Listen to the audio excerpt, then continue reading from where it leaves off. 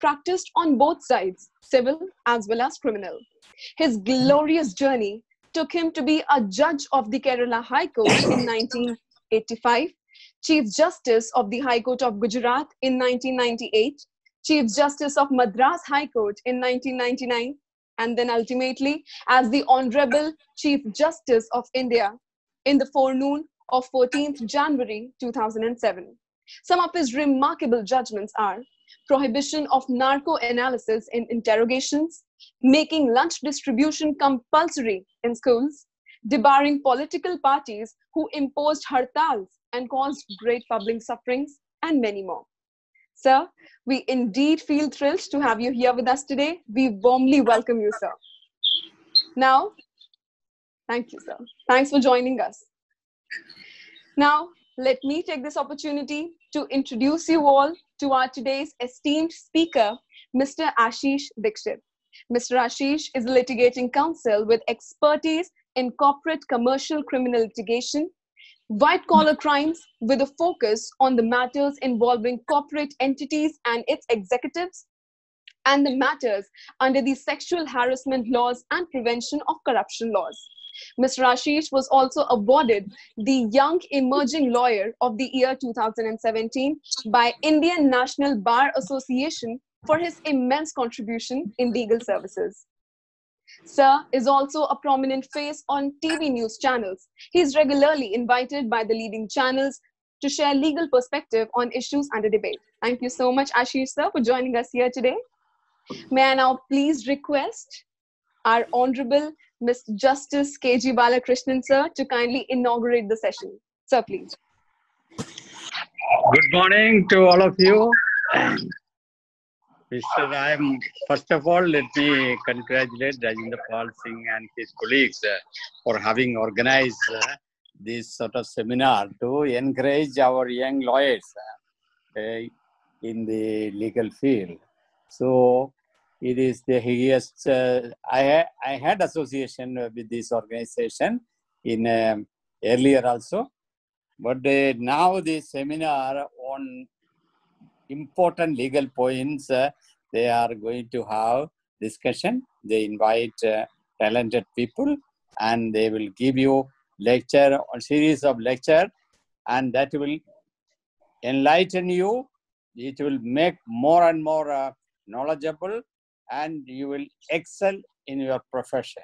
That is very, very important. It's a, mind you, law is a very, very competitive profession. So unless you chisel your uh, talents and uh, knowledge, uh, it is difficult to survive and very ably in the profession. So let me congratulate the organizers for uh, having uh, taken this course and doing their best in this. And uh, today the subject is uh, legal drafting and pleadings. The legal drafting uh, pleadings is very important. That is the fortress. that is where we fight for, and there shall not be any crack on our throat, fortress when we are fighting for something. So the pleading means plaint and written statement. you must have seen the, the what is pleading. So some basic principles also i am sure. The the concerned person who is making giving lecture on this should be able to give you the how the legal you should take care of. Order um, order one um, rule two the whole subject should be whole matter should be stated the material facts should be stated not the evidence. Whenever then order 6 rule 17 the amendment of pleadings the order 2 rule 2 is important because if you have now stated your pleadings earlier, you will be debarred from further uh, making uh, the same uh, sort of pleadings. Order 2 rule 2 is a prohibitive. So you must know all these important things. You must, and the well, one thing, and you deny a thing, don't you must be able to not the evasive denial. You must have the whole denial. You must give it a how, not simply saying no. You must say why it is or no. So the evasive denial is not possible in the matter of pleadings. So also you should know the how the pleadings are to be drafted. Not very lengthy, but uh, it should be crisp, and the judge must be able to know what is the case of the plaintiff or the defendant. Not only that, uh, whenever the pleadings are made, certain points, uh, there are certain general rules which are there. You, when you say the fraud uh, is alleged, you should give the details of fraud, not simply say it's a fraudulent transaction. So the breach of trust, fraud, all these things, you should give the details, how the fraud has been perpetrated, how the breach has occurred, what are the basic facts leading to the breach of trust. All these things, because otherwise simply one can you say, and you may build up a case later at the stage of evidence or later. So you must uh, give your case at the opening itself so that the opposite side should be able to give its own evidence, its own uh, defend it uh, properly. What is ultimately the purpose is to know what are the what is the case setup. Then it is also very uh, careful. Uh, you must give the attestation at the end uh, or the pleadings. You must say that the paragraph 1 to know I personally know, then paragraph 6 to 10 I have knowledge from such and such a source. These are all, all you should, uh, the all pleadings uh, should be a sworn affidavit in the form of sworn affidavit you should be. These are all principles, especially in the matter of election cases. Uh, you should be very careful in drafting the pleadings uh, because once there is a serious lacuna in the in the pleadings, the election case would be will result in dismissal, and you will not have any any other chance of uh, the winning the case. So election cases, you should take more care care in some. Sometimes it is uh, very very difficult to seek uh, an amendment of the election uh, pleadings. Uh, Order 6 Rule 17 is not very easily invoked in the matter of pleadings in the election cases. But uh, the, of course, uh, Order 6 uh, Rule 17 is very liberal. It could be amendment, could be uh, made at any stage of the suit uh, or the, in the appellate stage also it could be made. But uh, it is, you must establish you were not able to plead this fact at that stage or you are not aware of that fact or there was some invisible material facts uh, which uh, led to the situation where you could not uh, allege or plead these facts. So these, so not simply you can amend the pleadings. It is not generally allowed. You should you should establish that it is a bona fide petition filed to amend the pleadings. So the law of pleadings, these basic the things you should know when you are drafting the plaint or written statement. There were uh, very brilliant lawyers who are very clever in drafting their pleadings, uh, the plaint and written statement. Uh, the, they are very, very, very uh, civil lawyers, especially civil lawyers of uh, very uh, experienced persons. They draft the written statement, draft the plaint in such a way that nobody can find fault with a single word in that pleading. So you must have the basic knowledge of what is pleading and how to draft the pleadings. And when the plaint is in, you must say what is the cause of action, whether the what is the jurisdiction, whether the court has got jurisdiction to uh, uh, deal with that case, and whether uh, suppose there is a dispute regarding the jurisdiction, you must give a statement that the we are bona fide believe that the court has got jurisdiction sometimes the change of uh, villages of uh, the some talukas from the one district to another, then there will be problem of uh, how these uh, things happen. So mm. at hmm. that stage, uh, there will be difficulty, and to avoid such difficulties, you must be very clear in drafting the pleadings. The plaint and written statement is the most important document uh, in a litigation. So I am sure these uh, persons uh, who are taking classes in this seminar will give you all the basic things relating to pleadings. And you must closely watch and listen and take notes and remember you must whenever you study a thing you must take notes. Whenever you come across a decision which is of very valuable nature you must take a note and uh, use it for the your profession. These are all uh, small you are all uh, young lawyers. You have got a bright future. Low as a talented lawyer there is no difficulty. For others you they, they may feel that I have no work, I have difficulties and all. But a, but a, a bright uh, future is for every lawyer who is hardworking. Hardworking, that is the that is the thing. Is uh, and your duty is to help your client, not to uh, do any sort of litigation. Help your client. How to? That is, uh, as I said, the Felix Frankfurter said, the great American said, you lead your your client to the channels of wisdom. That is the purpose. Whenever somebody comes to you not that you should be able to make and uh, file a case. But if it is not filing a case not filing a complaint is the real thing you should do at that stage. You must advise the client in such a way. So the pleadings are very important take care and whenever you are got doubt consult a senior lawyer in civil matters there will be always a doubt doubtful uh, nature. So you consult a senior lawyers very honest sincere hardworking senior lawyers are there. Go and pay respect to them. Then they you get the right advice uh, from them. They will give you the how to deal with the problem. The in civil matters it is a long way, slowly, slowly, you become the bright, shining star lawyer. So it is not easy. Criminal uh, lawyers may, maybe a, the pathway may be a little quicker, but in civil matters, it is slow and steady wins the race.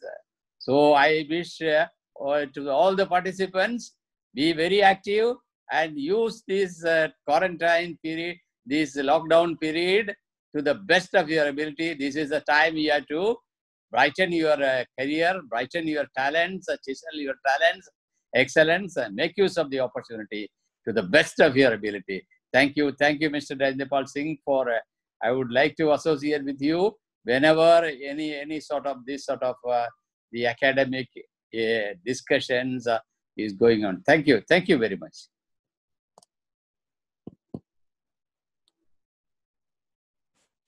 Thank you, sir. Thank you so much. Thank you so much.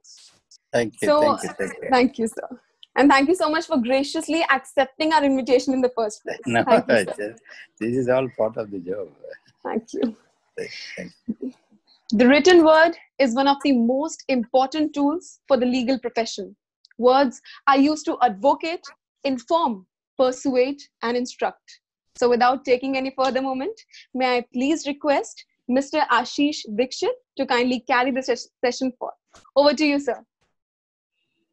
After the words of Honorable Justice Balakrishnan, I thank him from the bottom of my heart that he has given such a valuable advice and coming from his his stature, a person of his stature before I have a very interesting episode to share with Justice Balakrishnan that uh, my first appearance in Supreme Court was before him. So it's a it's a it's a proud moment for me to share a session or share an event in which he has inaugurated as a chief guest. Now, if I may start with my presentation, the pleading and drafting is, I can say, if you have a case, then pleading is the heart of your case. And whatever you plead, as Justice Balakrishnan pointed out, you should plead each and every fact. You should not miss. You, when, when, as a lawyer, you sit down to draft a plaint or draft a petition, always remember that how and what you need to prove in that case. What is your ultimate goal? From day one, while you draft your plaint, you should be clear that what is the outcome which you are looking for, what are the reliefs which you are claiming for, and what is the evidence which you would like to read every plaint must necessarily contain facts which are required to be proved. And you should keep in mind that how you are going to prove those facts. If you don't have that idea that a particular fact will be proved in what manner or by what witness or by what document, mere mentioning something in plaint won't be suffice.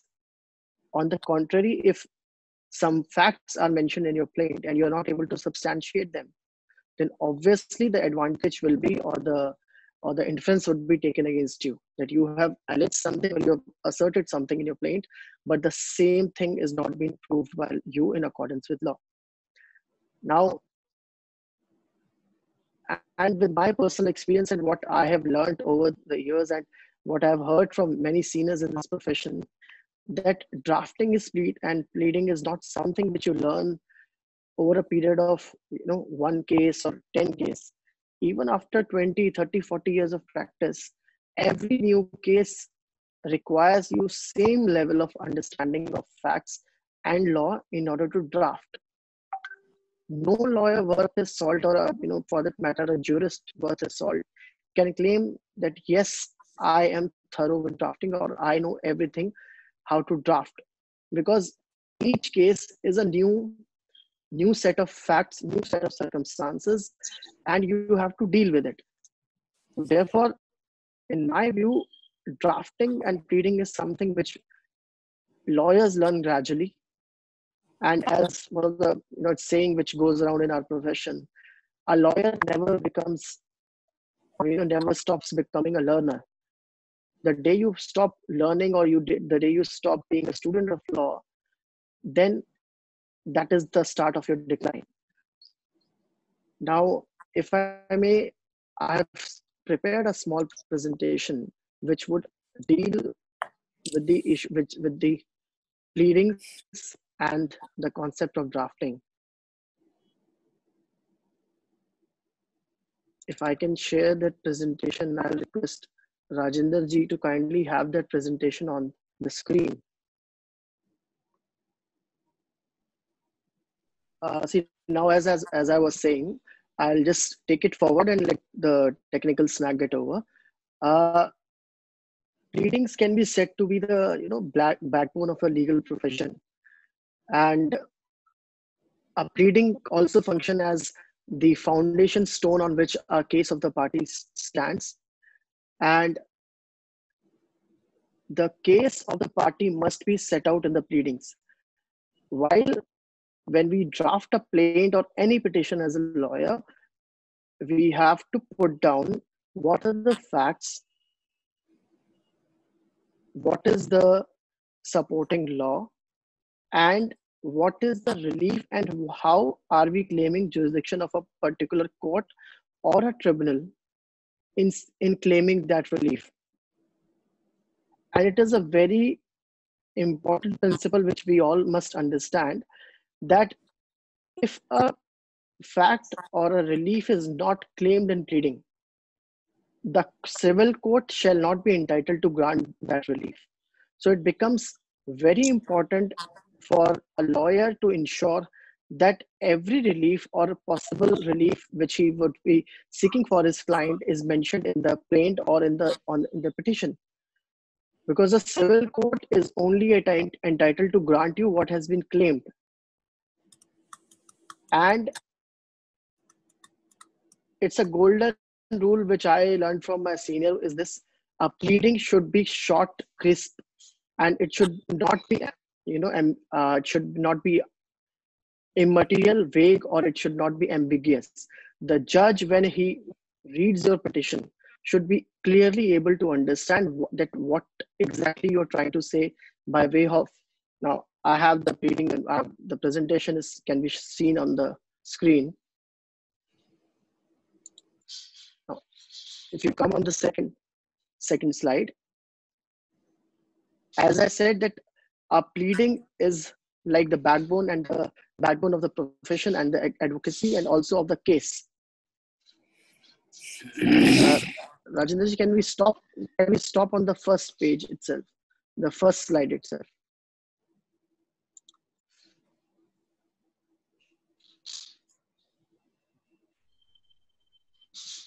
Yes.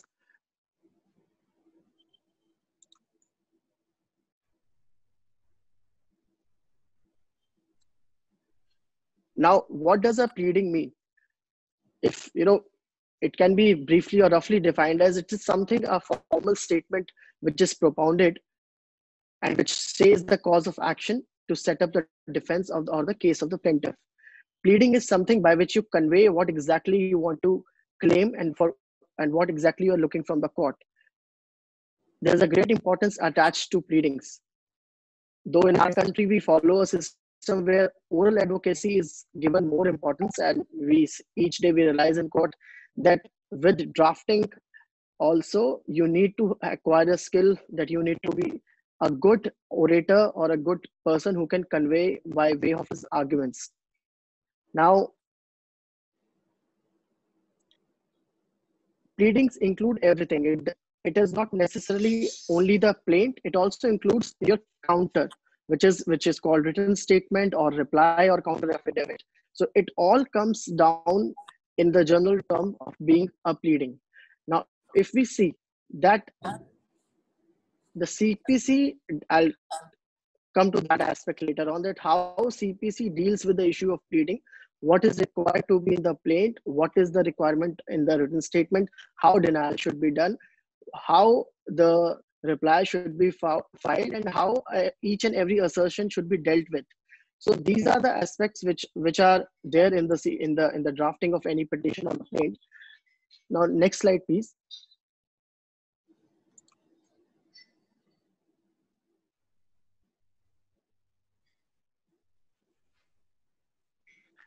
Now, under the Civil Procedure Code, which, which is the procedure for governing of every civil suit in this country, Order 6 deals with the pleading. Now,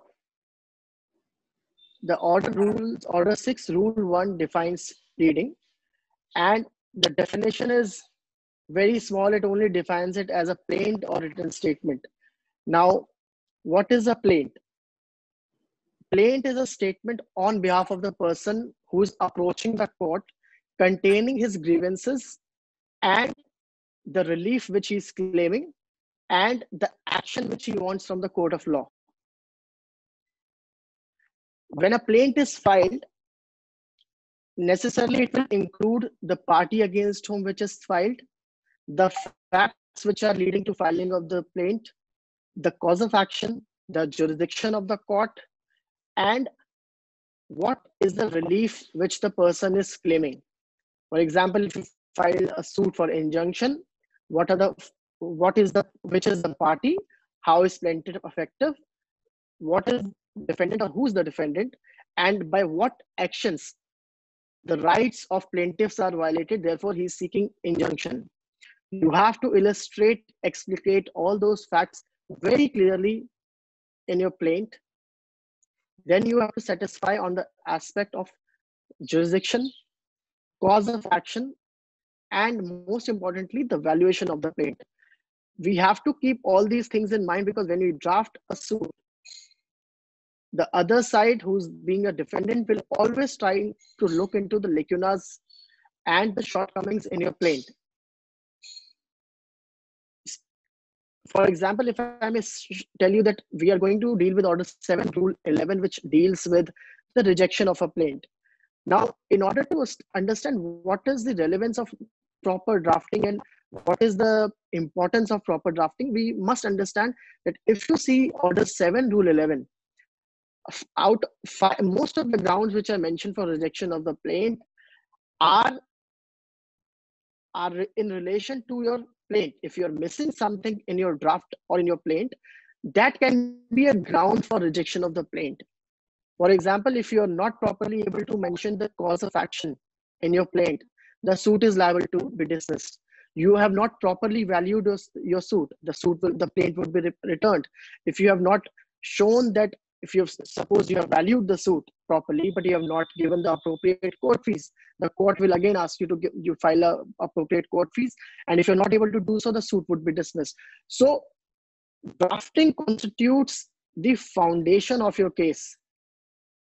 And in our system the judicial system which we follow you may not realize when you file that plaint. You may be able to secure an interim order you may be also able to get a you know injunction order from the court but when the case will come at the stage of evidence when you would be required to prove your case every lacuna in your pleading will, will be very deterrent to your case. If you're not able to plead a particular point later on during evidence you will suffer so much. I have seen in court cases in particularly in delhi high court what happens people file their suits and by the time the matter comes for evidence it's already 10 to 8 you know 5 to 10 years after the suit was filed. And it particularly happens with young counsels like us and even some of the you know middle level counsels that when they had filed a suit they were in they had just started their practice or they were very uh, novice or uh, young in their profession maybe with five years practice two years practice they, under the pressure of the client that you need to file this suit urgently, I need urgent relief, and all those kind of pressures which come along with a you know filing of a case, you file a suit which is half baked, which does not contain an each and every fact, which in which you have not considered what would be the evidence I would be leading to prove a particular fact.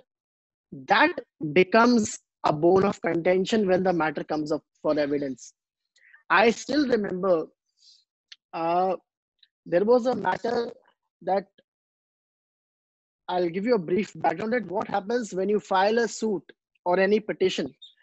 There is a standard format in most of the high courts and in the trial courts that you file a ex, uh, exemption application seeking exemption from filing original document or exemption from filing correct photo uh, photo set or you file typed copy directly in the high court because high court prefers typed copy are, are filed on record when the suit is filed because of the reading and everything.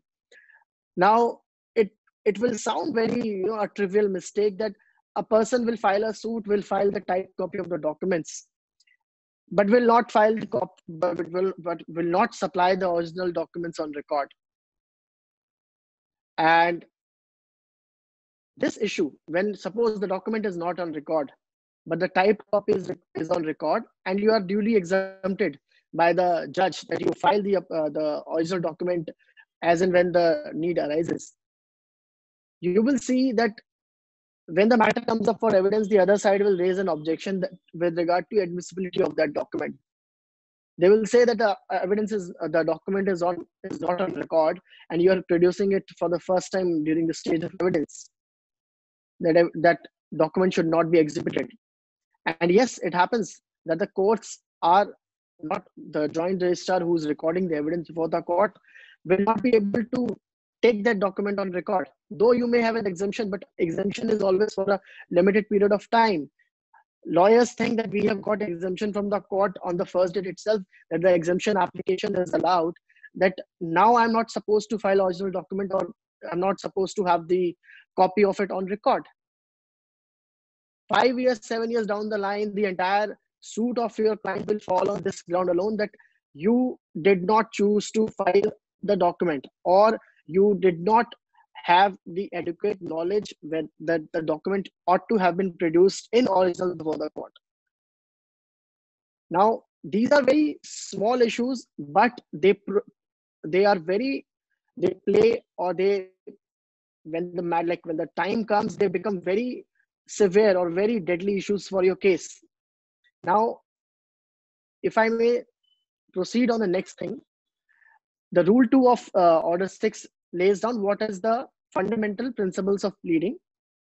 Rule 3 to 13 require the parties to supply necessary particulars and are if you see the order 6 order 6 it contains in detail how a suit has, what are the pleadings, what should be there, and what should be written, and how the facts should be pleaded.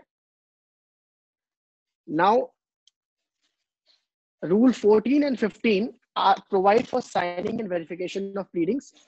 Rule 16 empowers a court to strike out unnecessary pleadings. This provision is not expressly used. I think this provision should be more used by the courts. That what happens in the zeal of writing more, in the zeal of showing that you have drafting skills, and, in the zeal of satisfying the clients, people file or mention all kind of unnecessary and irrelevant facts Therefore, we see with as the passage of time, the volume of suits or petitions has increased. There was a time when SLP was filed of three to four pages. There was a time when a civil suit was filed of five to six pages. But now you will see every civil suit will necessarily be of more than 40, 50 pages of pleading itself, except the, and in addition to those, the documents and, and other material on record what has happened that in order to show that yes our cases you know it, mostly it is done in order to satisfy the client that see we are filing. It's a you know a psychological thing. Client ko lagta hai that see it, the lawyer our lawyer has put in so much of effort that he has filed such a voluminous record. Now to that the judge will has to grant relief in my case. But what happens it unnecessarily confuses the judge. We all know judges in our courts are already overburdened you have 50 to 60 cases listed each day. So in those circumstances if, if you expect a judge to read 50 to 60 pages of a you know of, of, of a plaint or a petition in one case we are sadly mistaken. No judge has time energy or capacity to go through 60 cases and read 60 to 40 pages in, in each case. It is humanly impossible. So therefore, if you are looking for the welfare and a relief oriented approach for your client, file pleadings which are crisp. My I have learned uh, you know there, there is a thing which I call as three C's, which will be given which will be at the later part of my presentation. I'm just mentioning it in between. These are the three C's of legal drafting, which is like be clear, be crisp, and be complete. You have to ensure that you are clear with your facts, you are crisp with your petition, and you are complete in your petition. Now, if we move on to rules 17 and 18, which are the provisions which deal with the issues of amendment of pleadings. Now, Order 6, Rule 17 provides that a party, if by any mistake or circumstances beyond its control has not been able to mention certain facts which are necessary for his case that gives this provision gives a way for, to that party to enable that party to amend that pleading. Now in practice this has become one of the most misused provisions. You will have cases where the matter has reached up till evidence. Evidence is going on. And the party will file an application seeking amendment of plaint or the defendant will file an uh, application seeking amendment of written statement. Now as you know any lawyer will tell you that for a suit to become ripe for recording of evidence it usually takes 5 to 6 years. So, so necessarily by way of this application, you are putting the clock backwards by six to seven years. And the interpretation which is given by the honorable courts of uh, which have which have precedent value is this that the approach should be liberal. So therefore, this provision certainly gets a little get little misused by interested parties in the code of law, and I'm in my view that this provision should be used less often than it is being done as as of today and hopefully because you know we may say that judiciary needs to work fast or cases needs to be resolved soon. But with this kind of provision that you can amend your petition or uh, your claim even after five to six years of filing is sheer waste of court's time. Now if i may take you to the next slide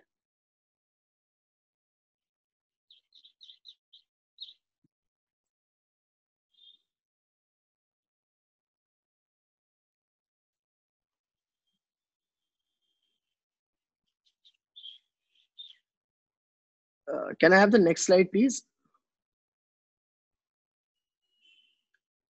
Yes. So we have like gone through what is the what is pleading, what has to be inside inside your case, and what you have to plead.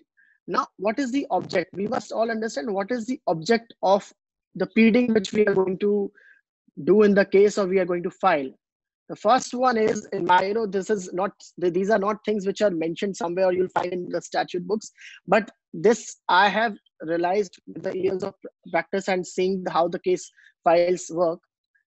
The first one is a previous slide, please. The object of pleading. Yes. So the first and foremost object which I see is the pleadings are a way to bring parties to definite issues you know, by way of pleading, by way of plaint, by way of written statement, by of, way of replication, the court and the parties come to the definitive issues of the suit.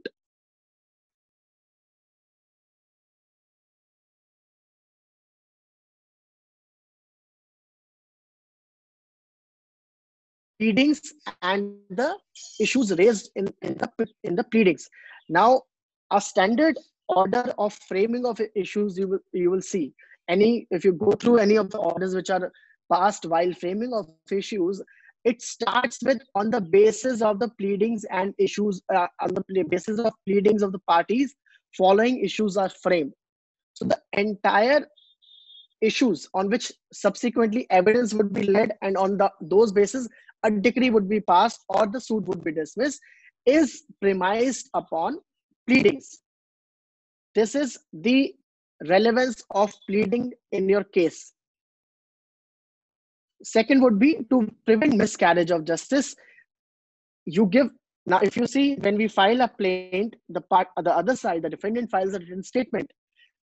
The plaintiff is also entitled and is given an opportunity to file replication to that written statement. But in that replication, you cannot bring out any new fact this is a rule of a rule of uh, procedure that once you're filing a replication you cannot bring a new fact in your application and in case you are bringing any new fact the court would be entitled to ex- to take that fact off the record and it will not be taken.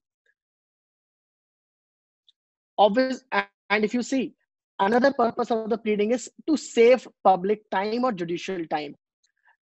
Now if you have proper pleading before a judge, the judge would be able to read it and understand what is the controversy about. And especially in kind of uh, judicial system which we follow, that judges usually get transferred. That it would be almost impossible for a single judge to be there when the suit was filed and when the suit was decreed.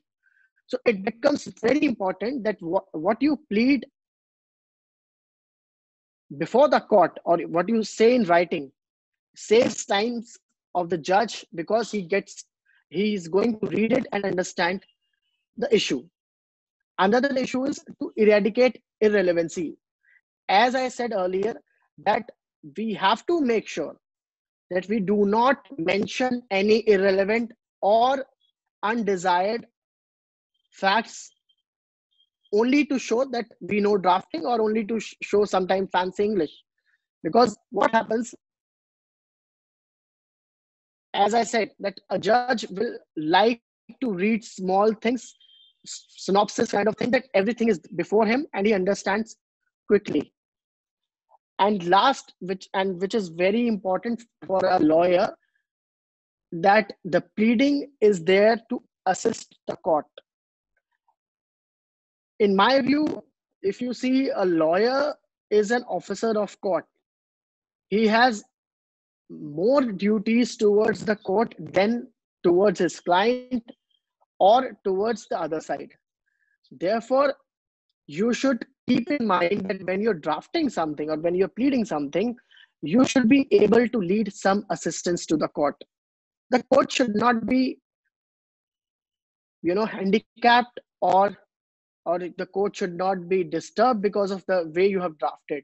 We have to make sure that our drafting helps the court to to come to the right conclusion, to come to the correct facts of the case, and to and, and to judicially decide the issue. Therefore, as a lawyer, you should always make sure that your your drafting is done in a manner that you are able to assist the court. May I have the next slide, please?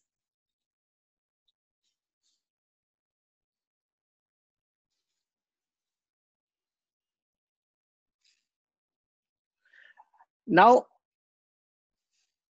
I now in this now I'll deal with the, what are the fundamental rules of pleading, which which I find are very relevant, which which in the cases which we have seen and the you know the issues which we have come across, that these are the fundamental rules of pleading, which is number one is very important. It should be you should state facts and not law.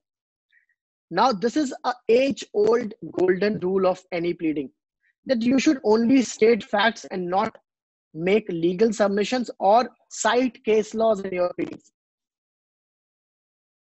But what happens? I have seen drafts, including there have been situations in which I have been advised by counsels that you should mention case law. यार एक supporting case law dal do ना इसमें आप ये allege करो एक paragraph में case law dal do. What happens? That we have learned as a law student and as a you know as a student of law that you should not state law. You should not mention that if you read any petition in, in any court of law, you will see a standard paragraph. The Honorable Supreme Court or the Honorable High Court in so and so versus so and so has held that this. This is a statement of law. You should always mention statement of facts. Application, non-application of law is a latest uh, of that law to your facts is a different issue. But in your pleadings you should stick to facts so that you are able to show the judge that how you have come to the court and what is the relief. Because you cannot confuse the judge with the with law. What happens? Because when facts and law are intermingled at the stage of the filing of suit or at the initial stages it becomes very difficult to se- separate those two. Now as i said earlier the facts stated in pleading should be material facts. You should sit down with your client, take a brief overview of the matter, have a detailed conference with him, know everything about his grievance or his issues, but you should understand what are the material facts which have to be presented to the court. It is very important for a lawyer to know what are the material facts of his case. There would be certain facts which are not relevant for your for the proceedings which are going to initiate. There are certain facts which are which may be may be giving some grievance to your client but they may not be something which is relevant for getting a relief from the court. So these facts should, should be chucked out should be thrown from the from the drafting or from uh, from the pleading and only those facts which are material for the outcome of the case or for the relief which you are claiming should be meant should be mentioned now, another important rule is that a pleading should not state the evidence. You should not mention that this is the evidence which I possess, and by because of this evidence, I will be getting the relief. No, because if you are presenting the evidence or presenting the way, uh, the the substantiation, the way by which you will substantiate your case, you are making other side smarter because when he will read your plaint or your petition he will understand that this is the evidence which the petitioner or the, or the plaintiff has. So he will cover. His lawyer will make sure that he has a counter to that already prepared in his written statement. And forget the matter reaching the state of stage of evidence because he'll make sure in his written statement that whatever your the whatever evidence you have shown has been duly countered or there would be evidence which will be true which he will bring on record which would be to the contrary. So therefore you will be missing a crucial opportunity or you will be handicapping your client or handicapping your own case because you will be making the other side smart wiser. Now another equal flip side to this issue is that you should not state the evidence but you should know what is the evidence. Whatever fact you are going to plead at that stage only you must know that by x y z evidence i am going to prove that. And for example you are going to prove a particular fact by way of a document or by oral testimony. So you should be able to understand that this is my fact and this is my evidence. And your facts should be mentioned in a in a manner that later on when you're giving evidence to that issue that evidence and your facts are in complete consonance. It becomes very important that when you are giving a fact of a case you should have in your mind that yes this particular fact i'm going to prove by this evidence or by this testimony. Another important aspect which i find is that the the facts which you mention should be in concise form. This is the basic rule. I'm telling you every lawyer will tell you that please keep your petition concise keep your drafts concise and keep them crisp. Only and only because so that you can assist the judge. The judge is able to understand no judge is going to read 40 pages i'm telling you i at the cost of repetition. No no judge gets a satisfaction in reading repetitive stuff or reading fancy english. Use small sentences. Use facts to show that you have a case. You know i have seen people writing long long paragraphs only to show that you know i have such good case that is not required. Write something which is very simple small sentences so that a person reads he understands. You know when i was uh, working with mr jetwani he used to tell us you should draft something. Drafting a petition you should draft it in a manner that you should think that a judge is a person who's still in is is in is a school. With the word which he used that he's a student of nursery so that it should be this simple that even a nursery student can understand. That how that is how a draft should be made. It should be very simple very concise. Next meeting ne- next please.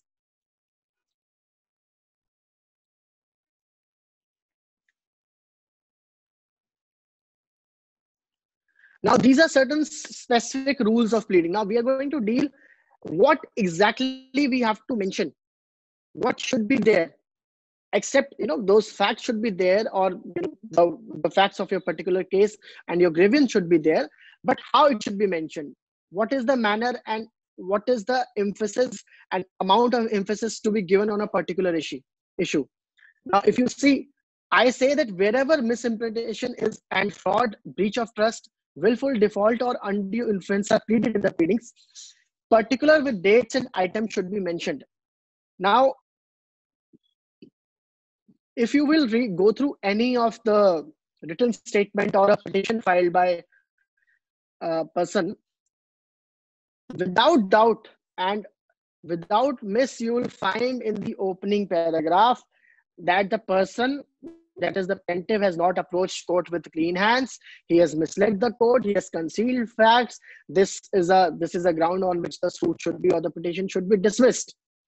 This is a this has by over the time or with past passage of time has become a format. That first paragraph should be that plaintiff has not approached this court with clear with clean hands or something of that sort casting various aspersions that the, the court should not interfere. But most of the lawyers forget that this needs to be substantiated. Therefore this has become a portion in the pleading which has no relevance at all no judge by reading a that this particular para comes to a conclusion that yes there is a misrepresentation by the client there is a fraud which has been committed and i should not uh, you know adjudicate this issue or this suit should be dismissed on this ground because most of the times people do not substantiate it and how do you substantiate it? Is by filing particulars, giving dates, and how it has been done.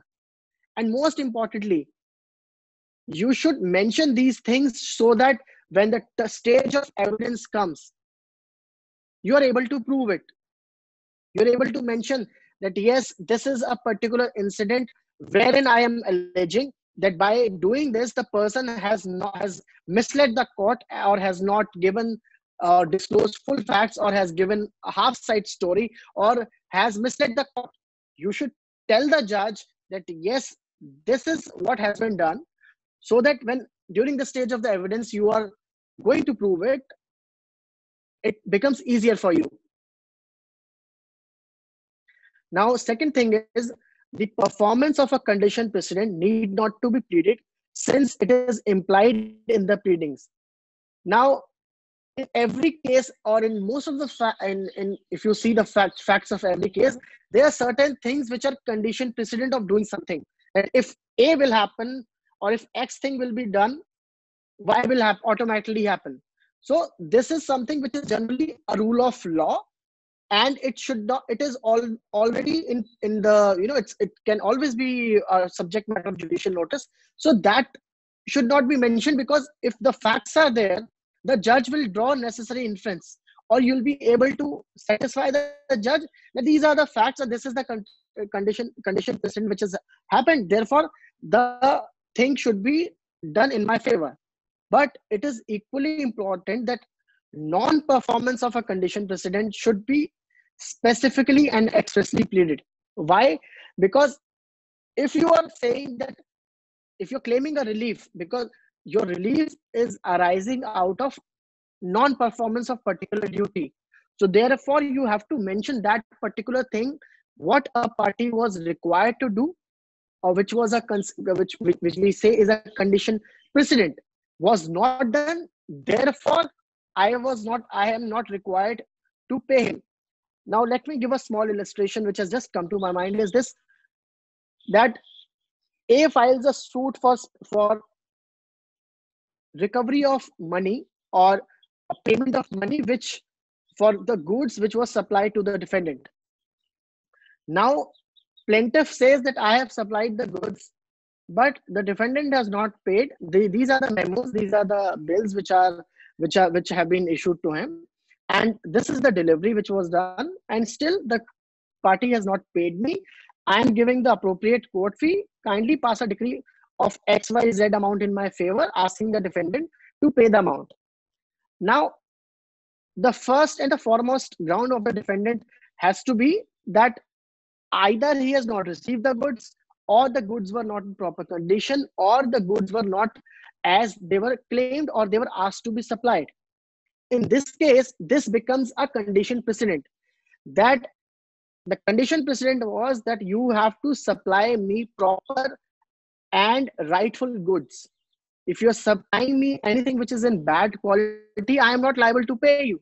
So therefore as a defendant you should mention that this condition precedent was not what was not performed therefore i am not entitled to pay him. This will become your basic defense and your counter and your uh, evidence will be premised on this circumstance that yes the proper goods were not supplied therefore i have no liability to pay him. As i said earlier now the next rule is very important. Departure from pleading is not permissible and except by way of amendment no party can raise any ground of claim or contain any allegation of fact inconsistent with his previous pleadings. Now you plead something before a judge or before in, in your plaint. That is what you have said. Now later on two years down the line three years down the line you cannot make a new submission which is not mentioned in your pleadings you will not be entitled to lead even evidence to that effect. For example you have filed a suit. By mistake you forget or your client does not tell you that this is a particular fact which was relevant for the proceedings. But the fact may be relevant but that fact is not in your pleading. Is not part of your of your suit or your written statement. So at the stage when the matter comes up for evidence if you raise that fact if you raise that fact or you file an evidence to that effect the judge and the other side firstly the other side will object that this is in contravention or this is not mentioned in the pleadings filed by the party and the judge will not permit it on record. The evidence will not be taken on record. So therefore either you make sure that you're filing each and every fact in the pleading at the first instance. If the conditions which were not in your hand or because of something which was concealed from you or you were not able to mention because of any reason you should ensure that within reasonable time you should file an application seeking amendment of your pleading. Make sure you file that application. The judge will consider it. And as i've explained the law is very liberal. It is so liberal that it is most of the times misused. The law is liberal so therefore you should make sure that your amendment comes on record therefore giving an opportunity to prove that thing. Otherwise it would be very difficult for you. Now most of the civil suits are premised upon contractual obligations either written oral or implied. So therefore this but next some next rule becomes very important which is that a bare denial, denial of a contract by the opposite party will be construed only as denial of factum of contract and not the legality, validity, or enforceability of contract. Now, we, as when you will see the pleadings in, in the cases which are pending, people, the lawyers have a tendency to generally, vaguely deny each and everything said by other side, even if it is suiting their case most of the times the para the, deny, the written statement will start as the contents of para number so and so are denied for being false and or misconceived or or not correct. Forgetting that there might be a line or a phrase which is going to suit your case. So you deny everything denying your client the opportunity of using the lacuna in the plaintiff's case. So therefore you should be very careful that you deny something but you should understand what is the relevance of that denial? What is the legal effect of that denial? Because you may legally deny a document but that does not mean the content of the documents are denied or the contents of documents cannot be proved. So a mere denial is not going to serve any purpose. Make sure your denial is as per law and as per the facts of your case. Another important another important rule which will save time of the court and which all which will also save your time and which will keep the interest of the judge in your case that you should not mention the details of the documents in your plaint or in your petition. We have seen various petitions in high court and in civil cases that the parties will extract a particular paragraph or few paragraphs from a document and will reproduce them in their in their plaint. For they will say that so and so there was this document which was executed between the parties, and para five of that document said as hereinafter or as stated hereinafter inverted commas entire para 5 from the document will be typed and res resultantly the volume of the pleading will increase but that document is already annexed with the petition or with the plaint or is in the list of documents so if the document is required to be seen by the judge he will read it. So therefore if you're going to mention that but the content of the document in your pleading itself you are only increasing the volume of your pleading. Because every judge is not going to believe what is stated in your plaint he has to see the document. Just because you have reproduced the paragraph does not mean that the judge is not going to read the document so you are increasing his work that he has to read the para- he has to not only read your paragraph but has is also required to verify. So the better way is you mention the document, you say in your words what have, what is the import of that document, and simply say that document is marked as an annexure so and so. If the judge requires that document to be seen, he can see that document and understand it. So therefore, no need to mention the details of the document or the content of the document in the pleading. May I have the next slide, please?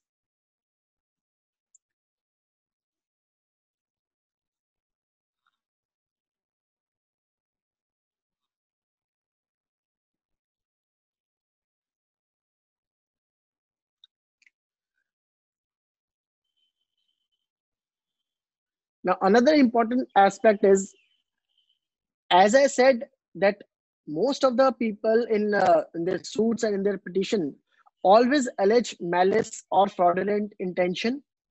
So, and including knowledge and other condition of mind. So, for example, you are, let, just let me read, read this uh, complete and then I'll explain this, that wherever malice, fraudulent intention, knowledge or other condition of mind of a person is material, it may be alleged in the pleading only as a fact without setting out the circumstances from which it is to be inferred.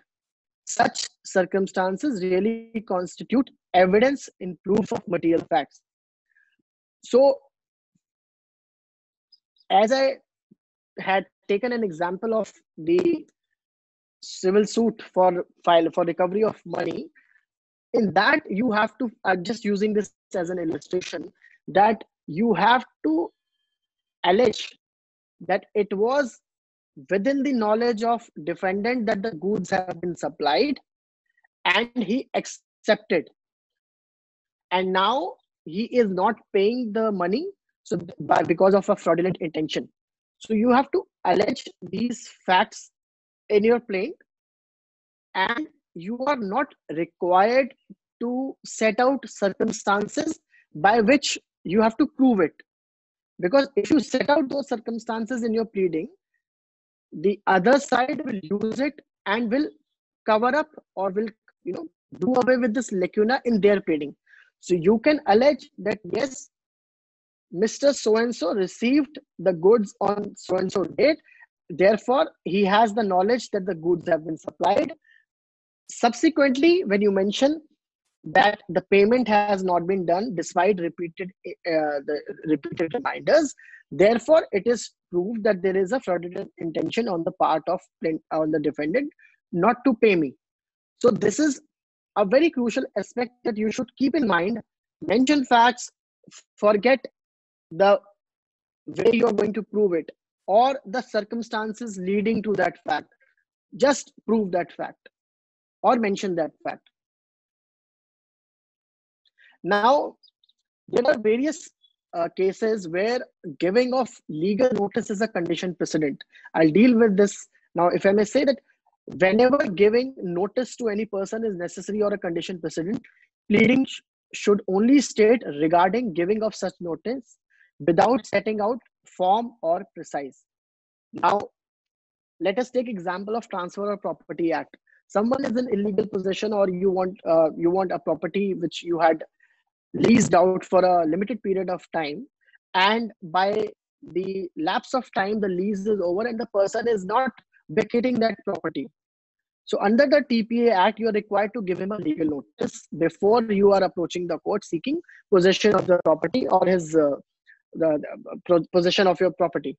Now this is a mandatory provision that you are required to give him a legal notice.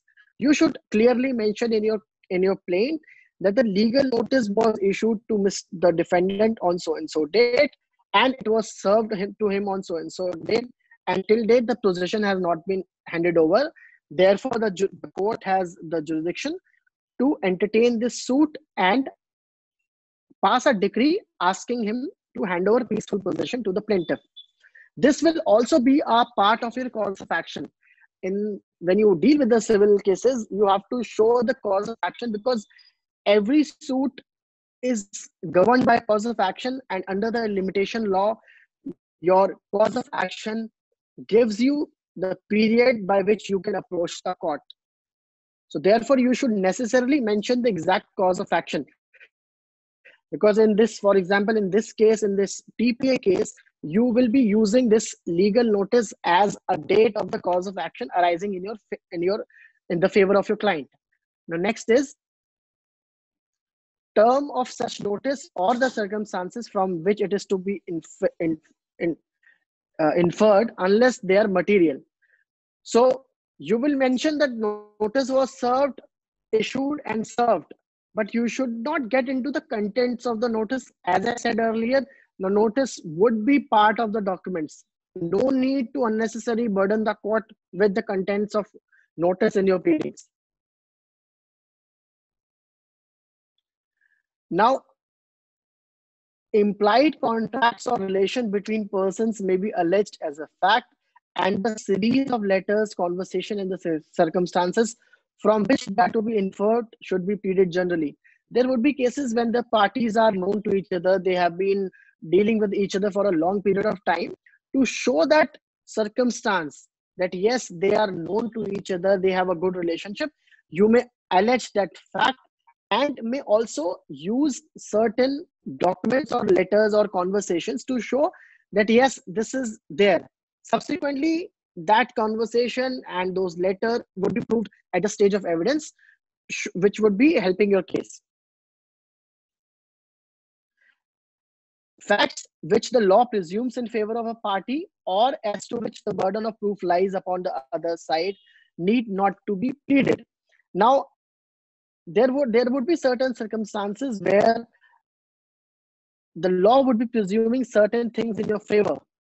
For example if you are landlord of a property or you have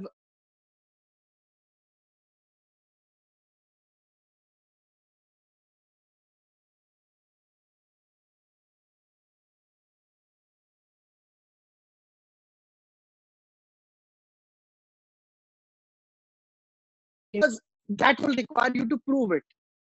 Because you you must understand it is a very peculiar issue which we face in in every civil in a basic tenancy matter that plaintiff starts with his case that yes i am the owner of this particular suit property by way of this uh, uh, sale deed or by hereditary or by way of will and, and therefore i am the owner of the property and i entered into an agreement with the defendant who is the tenant you are not supposed to prove your ownership in, in a in a possession suit or in a in a in a recovery proceedings. That is not requirement of the law. You are if there is an agreement duly executed rent agreement the law presumes that the person who's executing the agreement was the owner or has the capacity. But because you are included that that i am the owner and this document has uh, is there to prove my ownership you are unnecessarily burdening yourself on your client to prove that particular fact. The other side will say, no, no, you are not the owner. Therefore, avoid these kind of things.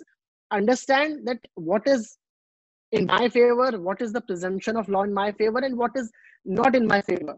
Therefore, as I said earlier, before you sit to draft your suit or your petition, understand everything what has to be stated, how it has to be substantiated later on so that you are you may say something.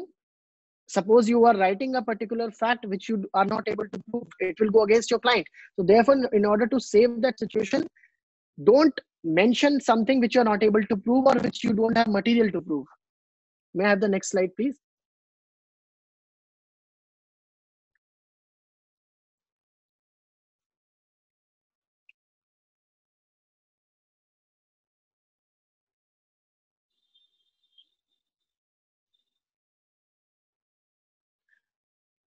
now if you see uh,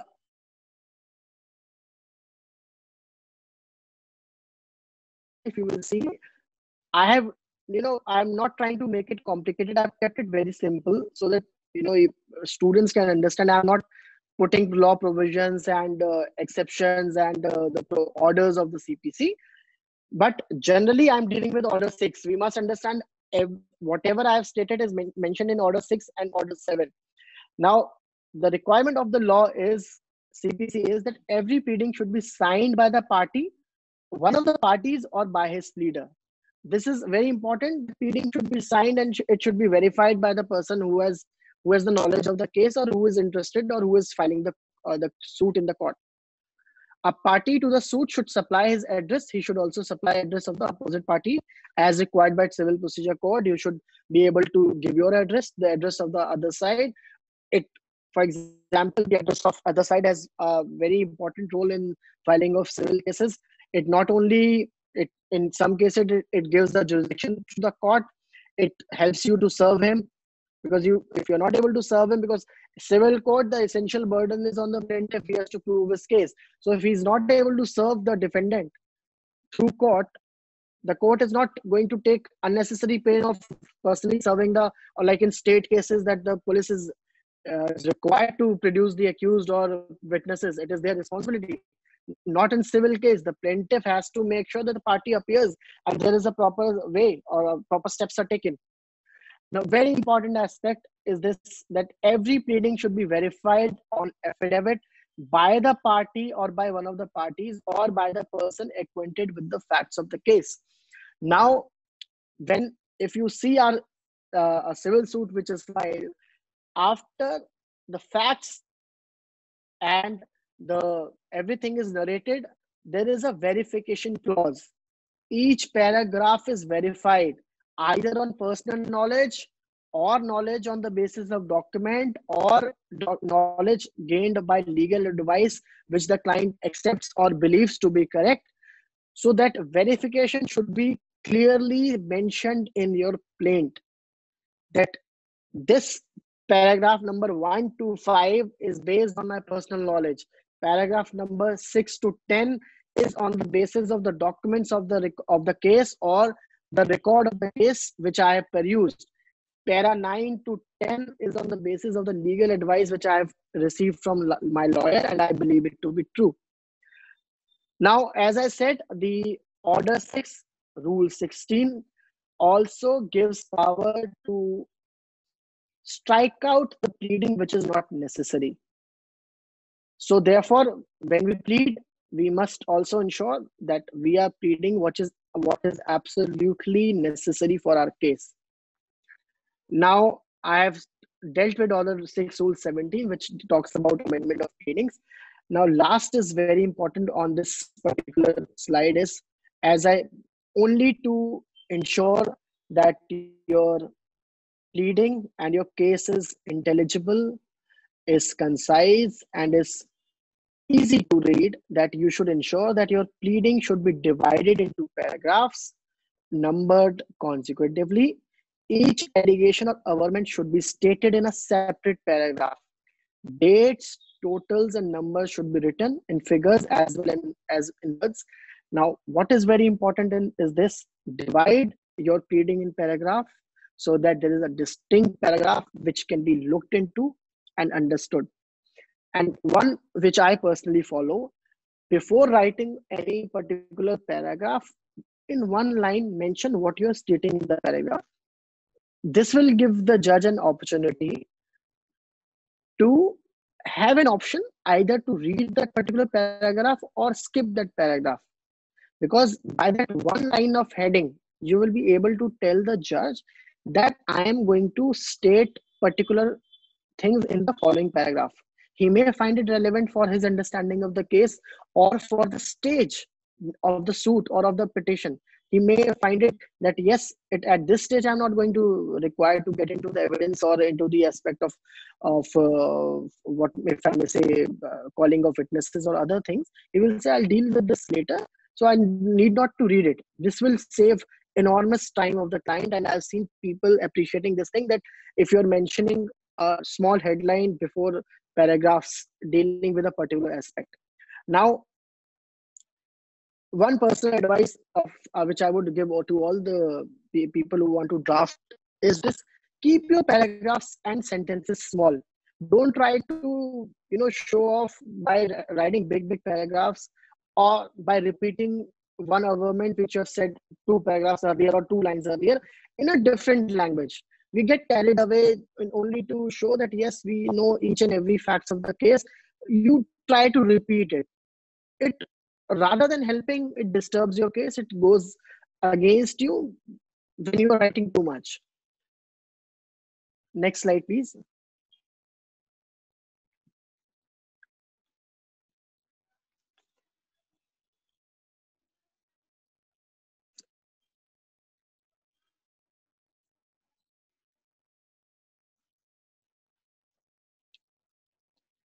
Now, I'll deal with the aspect of introduction to drafting.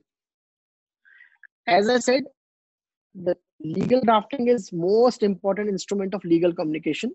The skill to draft well is skill to think and communicate well. You are only able to prepare a good draft when you have thought through the case. When you know the case like back of your back of your hand, when you are able to illustrate what exactly you are looking from the court. If you are not able to understand what is the issue what is the list what is the reason for which i should approach the court you will be never be able to explain it in pleadings or in drafting at what exactly you're looking for. So therefore before sitting to draft a particular petition make sure you understand the nitty-gritties. Each and every fact should be in your knowledge most important and the most easy way to have knowledge of each fact is prepare a chronological list of events. From start till the date of the filing of the case you should have each date in tabular form with the facts that have happened so that you don't miss anything. You may have 20 facts 20 dates which your client will tell you but you may not find all 20 them rele- or all, all of 20 of those to be totally relevant for your case. So you may strike them out or not you won't include them in your pleading but you should know it. You should not be taken by surprise that oh this particular fact i was not aware. So therefore i will insist that know each date. Therefore you are in a situation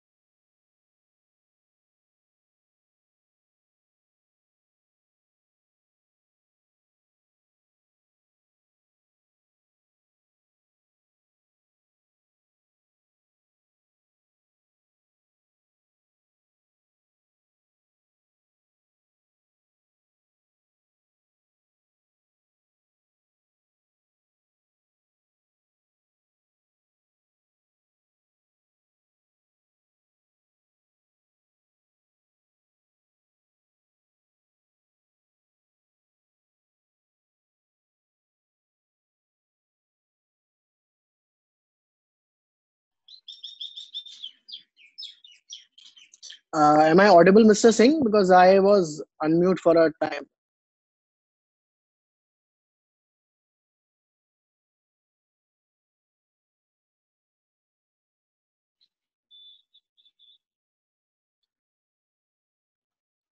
I'll continue. Now, what is drafting? You know, this is not a definition which you will find in uh, any law books or any such thing. It is something which I was, I have just written down. In my understanding, a drafting is something that it is collection and placing of all aspects of the matter in logical manner and a lucid style so that the contents of the documents can be understood without any ambiguity. So when you are drafting something, what you have to do? Collect all facts. Know all aspects of the case. Put it in a logical manner and have a lucid style or a proper style so that whatever you are intending to say can be understood by the parties without any ambiguity. This is the purpose of your drafting. Drafting is not a some is not some real technical aspect of law that you have to be uh, super smart or you have to have great knowledge of law you have to have that skill that you are able to place your facts in a logical manner before the judge. Unambiguous. Everything should be crystal clear. Now may i may i have the next slide please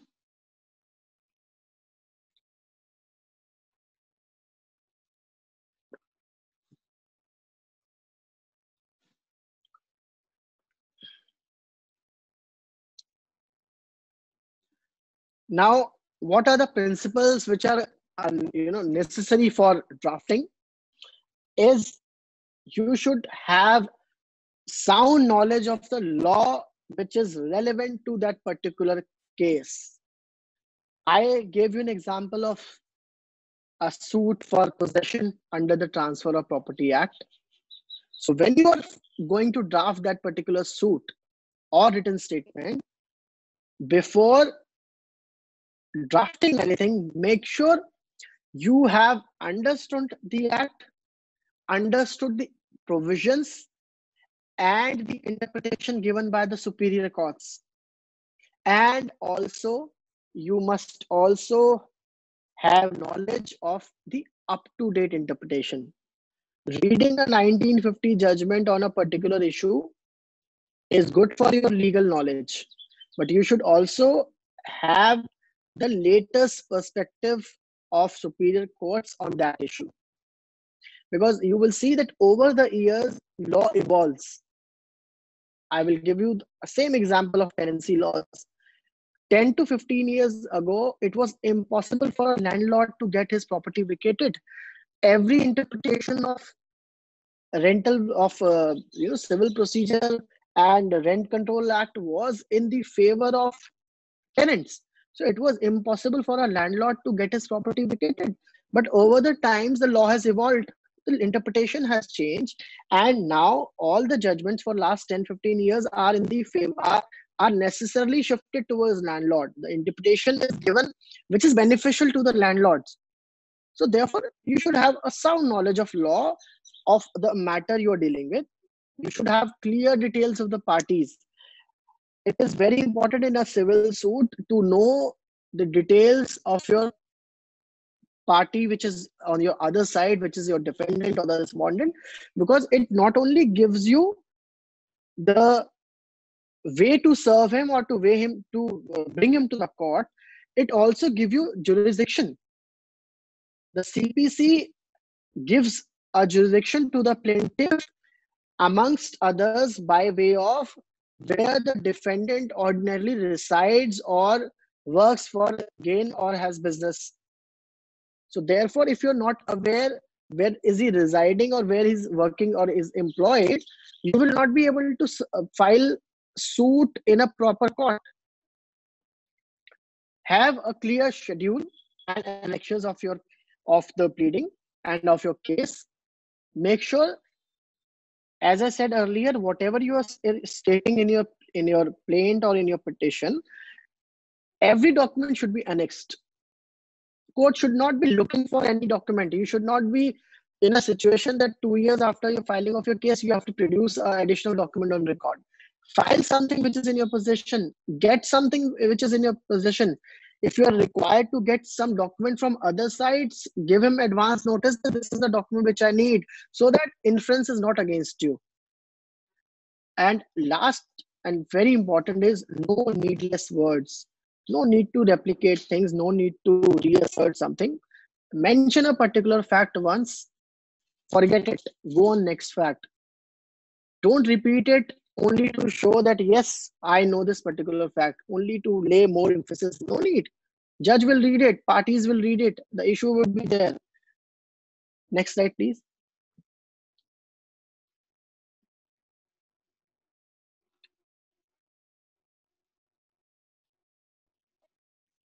Now i will try to explain in my understanding that what a good draft involves. You know, what are the brief things which are required to be present in order to categorize a draft as a good draft?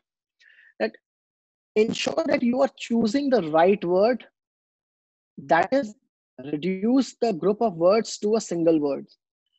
You know don't use big big sentences. Use small words only in order to enable the person to understand it easily. Use simple verb for a group of words. You know everything comes down to and you know in drafting everything comes down to one thing. How concise and how clear you are in your words and in your thought process. Third is very important. Avoiding roundabout construction and unnecessary repetition. You know i have seen plaints and in fact i have also been uh, you know what should i say i have also been a victim of this kind of drafting that you tend to produce paragraphs which have round, roundabout sentences. You'll use fancy languages, all kind of difficult words to make a point. And what happens that more than proving or you know explaining your case, you tend to you tend to confuse the judge. Because a judge will read a particular paragraph only once. He's not there to read it twice thrice only to understand what you're exactly trying to say. So therefore using simple words simple language is going to take you much far than using fancy words. As i said earlier don't repeat. Avoid unnecessary repetitions.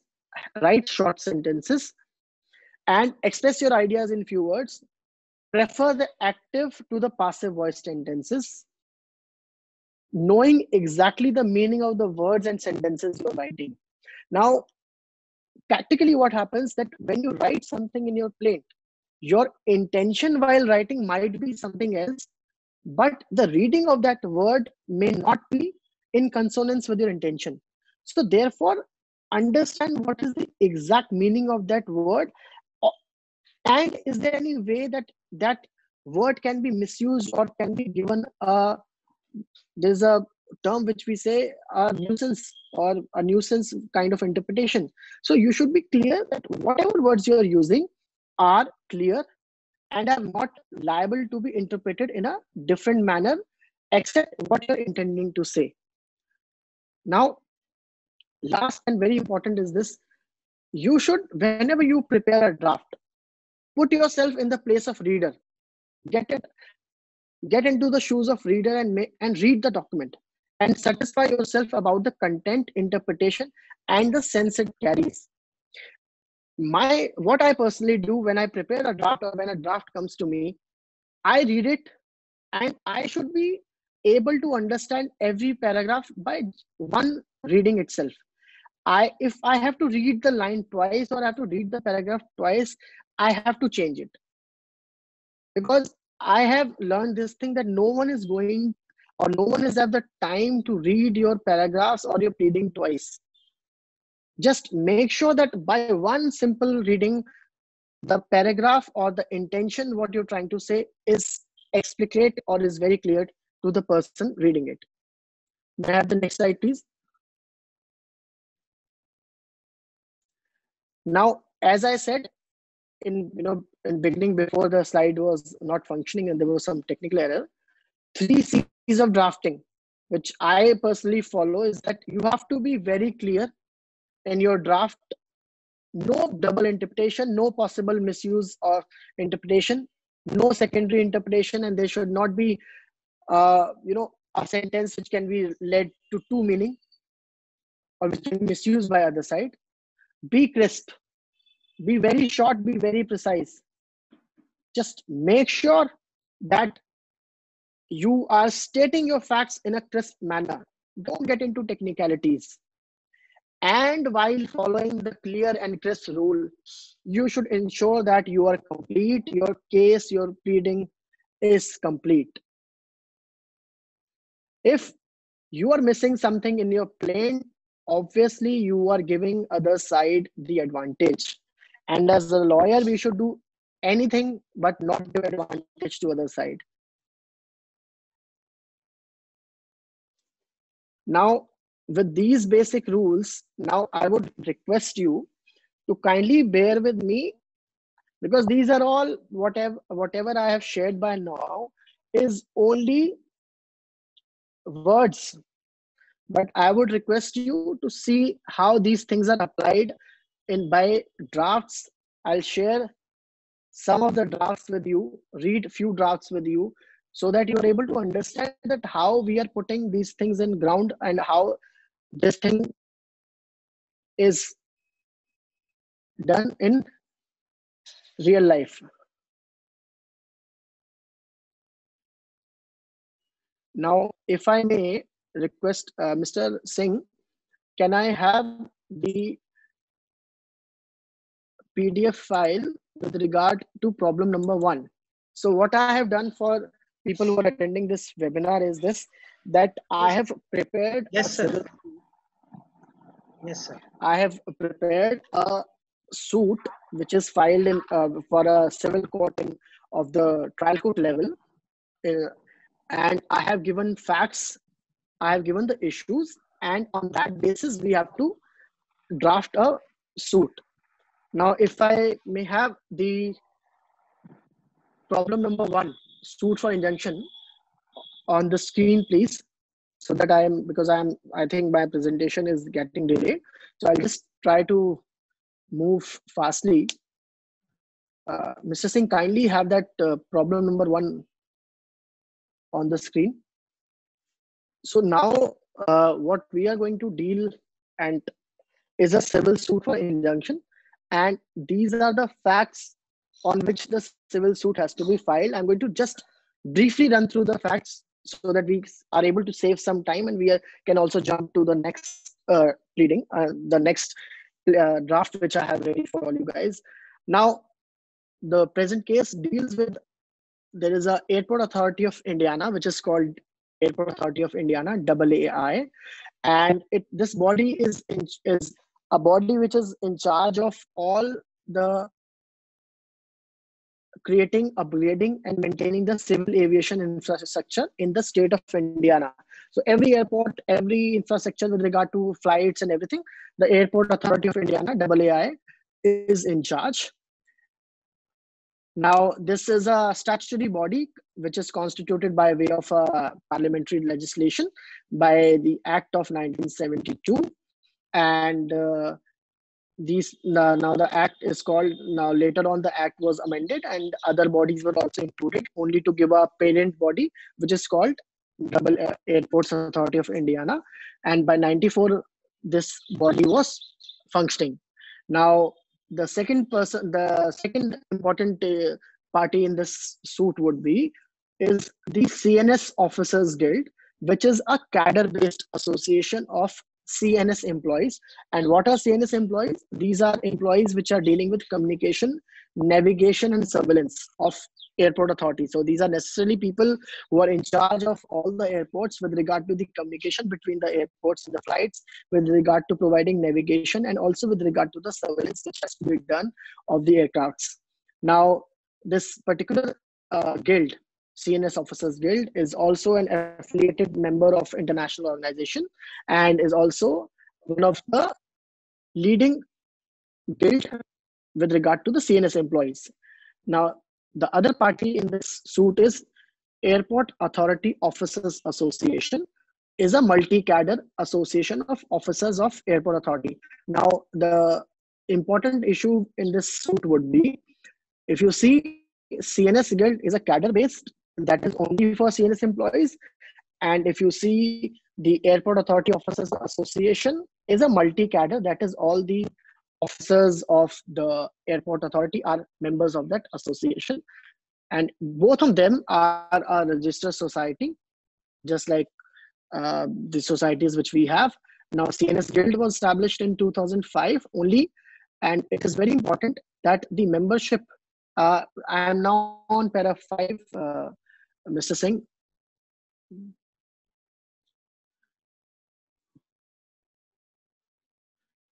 I'll, so now what I will do as I'm not operating this uh, PDF, I would also read out, uh, mention the paragraph number.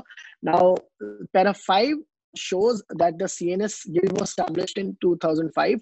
Very crucial aspect that the membership of this association was only open to executives of communication it is not that ev- uh, communication navigation surveillance it was not open to every employee. Only the employees who are posted or who are in the cadre of communication navigation and surveillance which is cns are entitled to become member of this society or this association now it is only why this association? As we all know associations are usually formed to take take care of the interest of their own employees with the management so that none of their uh, the members has been wrongly treated or is unfairly treated. So therefore these associations are created and they represent their members with the management.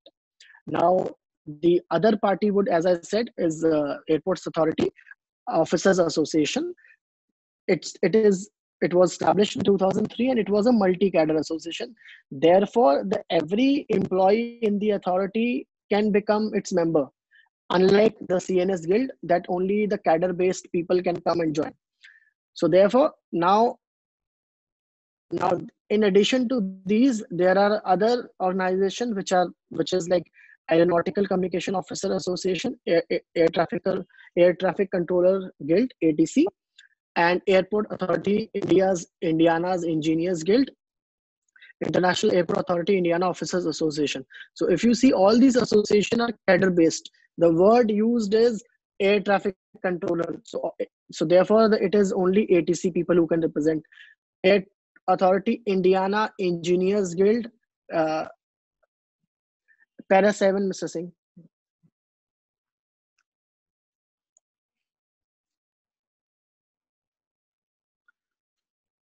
Para 7, uh, yes, those bullet points. So these are the other associations which are also functioning. So as you read those bullet points, you will find that all these associations are formed for a particular cadre if you see this air traffic controller guild that is for air traffic controller people airport authority indiana engineers guild this is for engineer people and similarly likewise and it is a fact now the fact of our case is that none see these associations have not been recognized by the authority. And there is no official policy that lays down the rules that how these recognition have to be given. So what happens that every employee or the management recognizes a particular association that this association we are recognizing and we will be dealing with them. Because what happens on the ground is that for every uh, group or every uh, members or management there are various associations which are formed by different factions of employees. So it becomes very difficult for the management to deal with all of them and it creates a it's it creates a confusion that which is the which is the association which represents which truly represents all of them. So therefore what uh, so what management does they recognize one of the association and they say for we are going to deal with this particular association only. But authority did not have any policy on ground by which they are going to give uh, recognition nor did they give formal recognition to anyone. So it was a lot of like in Hindi we say a lot of khichdi that there were many associations and each everyone was fighting and the only damage was the employees. Because management was very happy all these associations were, were fighting amongst themselves and nothing was happening. Now now what was happening that the cns cadre Now, the CNS association which was there was not was not being interacted by the management. The CNS was claiming that because we are raising relevant issues for, on behalf of the employees, the management is avoiding us and is not entertaining us. But the other associations who were just on paper, they would call them, meet them, have a you know have meetings, but they will not entertain the CNS cadre.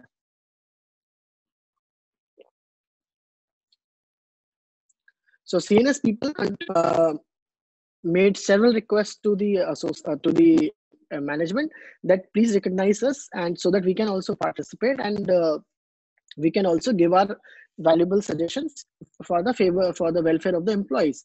Having finding no no outcome with the management, the CNS approaches the High Court. And in that high court he files the association files a writ petition that there should be a policy by which the authority should uh, recognize or should give recognition to the association and that policy should be framed. So the high court allowed that petition and by way of the, the judgment from the court the high court directed that the airport authority of india would formulate a policy within period of 6 weeks to 8 weeks and thereafter give recognition to all these associations. So on the basis of these directions, our draft policy was circulated by the management to all associations and the process for recognition was started. So every association submitted requisite documents but how the controversy started if we come to para number paragraph 12 paragraph 12 so how this particular controversy the issue arises and how the cns officers really got agitated is this that when the policy was made and the policy was circulated the other association which i mentioned earlier which is the airport authority officers association started representing to be a cadre based organize, uh, association dealing with cns cadre whereas as we have seen that this was an association which was open to all officers of the associate of the management. So it was like interfering in the domain of cns association. Therefore the cns guild was aggrieved that how can this association suddenly flip side and become a multi from a multi cadre to a uni association so they approach a lawyer and say that this is what has happened with us. You kindly find us the remedy and how the officers association should be restrained from not misrepresenting the uh, management and also the other employees. So now what the advice was given that they that they should file a suit for permanent injunction in the court so that the airport authority officer association may be restrained from representing in itself uh, para 14 sir. So this was the advice given. And so that uh, number one was that they should file a suit for permanent injunction so that the association is restrained from representing itself number one. Cadre association. Uh, little little down yeah yeah. So they are restrained from representing as a unique cadre association and second relief an association of employees of cns cadre that is communication navigation and surveillance. So this was advised to them that you file a suit for injunction now how us on these facts the suit ha- suit had to be filed. And now i'll show you how a suit has to be suit would have been drafted with these facts. Uh, may i have uh,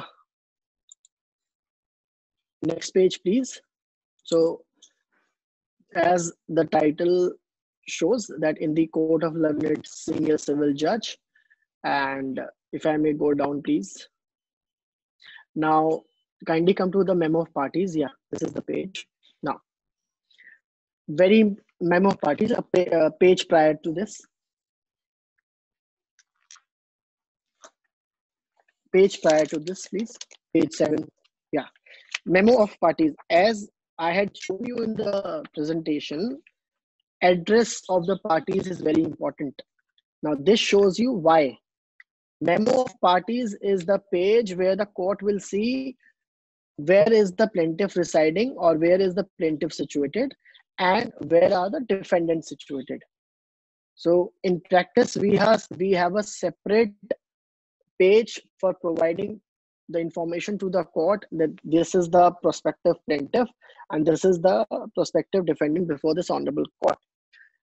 And kindly note that I have given my address and I have also given the address for defendants that where are they situated.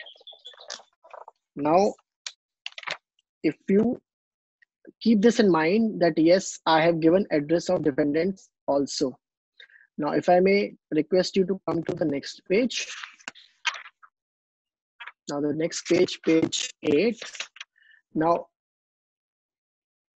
we give a short title to the suit bearing a suit for permanent injunction. No need to write fancy words, you know, uh, suit under so and so, so and so, so and so. Simple suit for permanent injunction. Now, first paragraph defines who is plaintiff. What is the profile of the plaintiff? Now, paragraph 1 defines what is plaintiff, how. Now, paragraph 2. Now, paragraph 2 defines the defendant number 1. And defendant number 1 is necessarily and should always be the primary opponent or the person against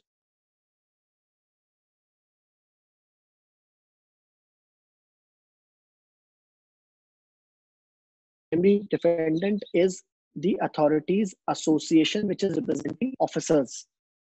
So i mentioned that so and so it is a society and therefore a legal persona capable of being sued. So how do i get to this? For this i have understood the societies act.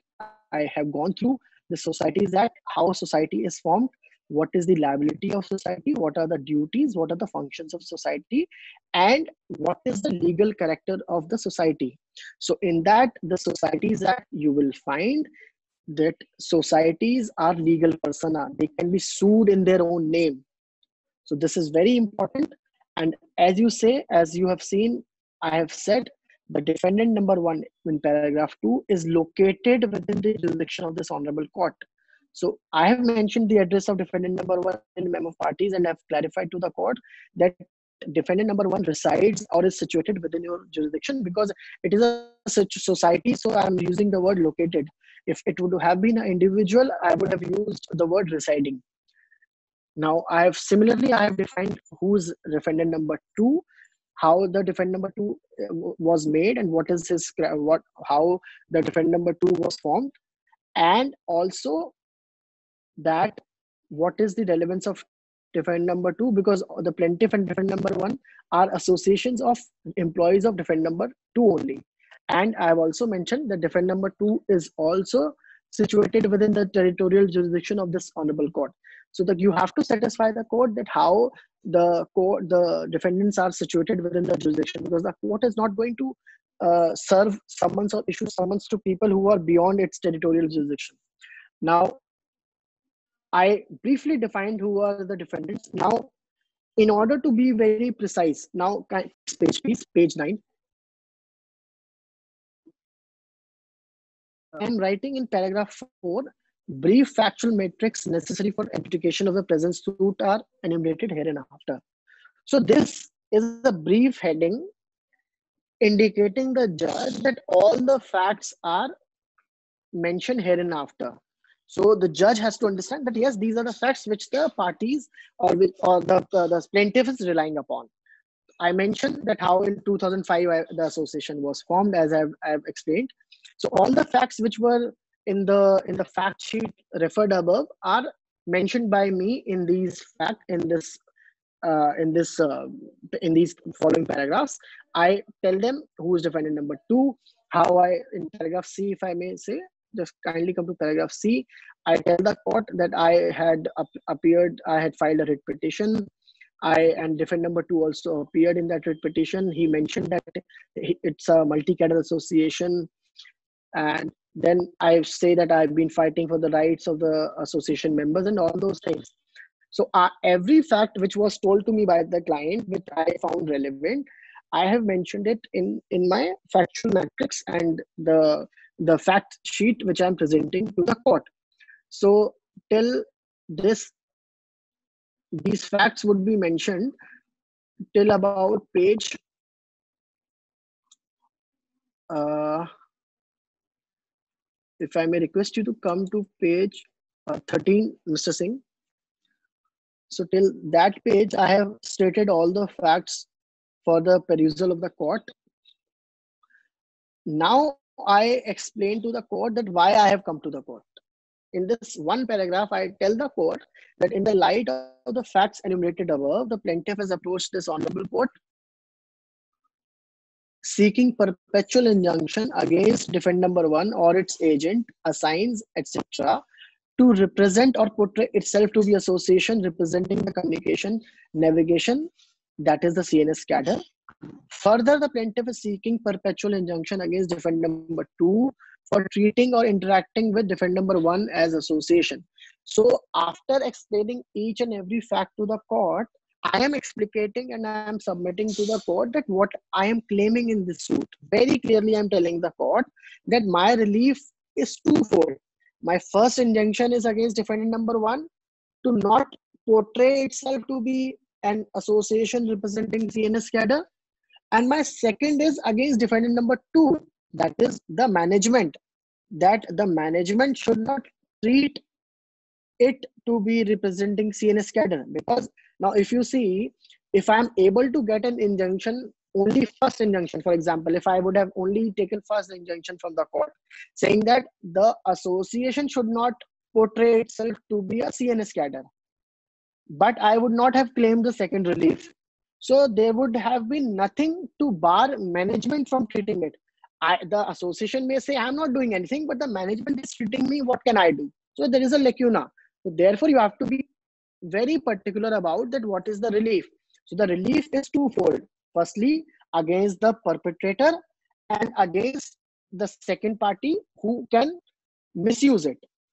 Now, now in paragraph six, I tell the court, I explicate that how the balance of convenience lies in my favor and how the defendant is misusing and how has defendant caused me trouble or has made me uh, you know has put me in a circumstance wherein i have to be up, approaching this honorable court. Now very important paragraph paragraph 7 which deals with cause of action. So what we do is that we mention that how the cause of action has arisen in the present case. We tell the judge that by following facts with the list with the dates, the cause of action has arisen in my favor. And it is very important to note this that if these cause of action is not mentioned, then then the suit is liable to be dismissed under Order 7, Rule 11 if you see order 7 i'll request people to kindly make a note that order 7 rule 1 gives you the particular of the plaint. So in particular of the plaint subclause e order 7 rule 1 subclause e tells you to present facts constituting the cause of action and when it arose. So the first requirement is giving facts to the court that these are, these are the facts by which the cause of action has arose the second is when it arose. So you have to provide the dates on which the cause of action has arose or you are claiming to have arisen. Now, see in this paragraph, I mention all the dates by which the cause of action has arisen. And last line, I say the cause of action is still subsisting and accruing and therefore the present suit is well within limitation and hence the present suit. So therefore, you have to make a statement of fact that the suit is within limitation. You need to know the law of limitation on the point of a suit for injunction. For example, in suit for injunction, the injunction can only be sought within a period of three years from the date the limit the cause of action arises. In some cases, for example, recovery of money, the so the recovery of money can only be filed within three years of the date the recovery the amount was due so therefore, you have to show to the court that by this date, the cause of action has arisen and the date of the filing of the suit, my suit is within the period of limitation, therefore not barred by limitation. Now, very important, the defendants are situated, paragraph number eight, I clearly state to the court that the defendants are situated within the territorial jurisdiction of this honorable court and further the cause of action arose within the within the jurisdiction of this honorable court. So therefore why i have written this thing? Firstly under cpc the jurisdiction is is derived by a court for multiple reasons. One of them is that if defendant is situated in the territorial jurisdiction of the court another one is that the cause of action has partly or in fully arose within the jurisdiction of the court. So, as in my case, the present case in which we are dealing with, the both situation were in the favor of plaintiff.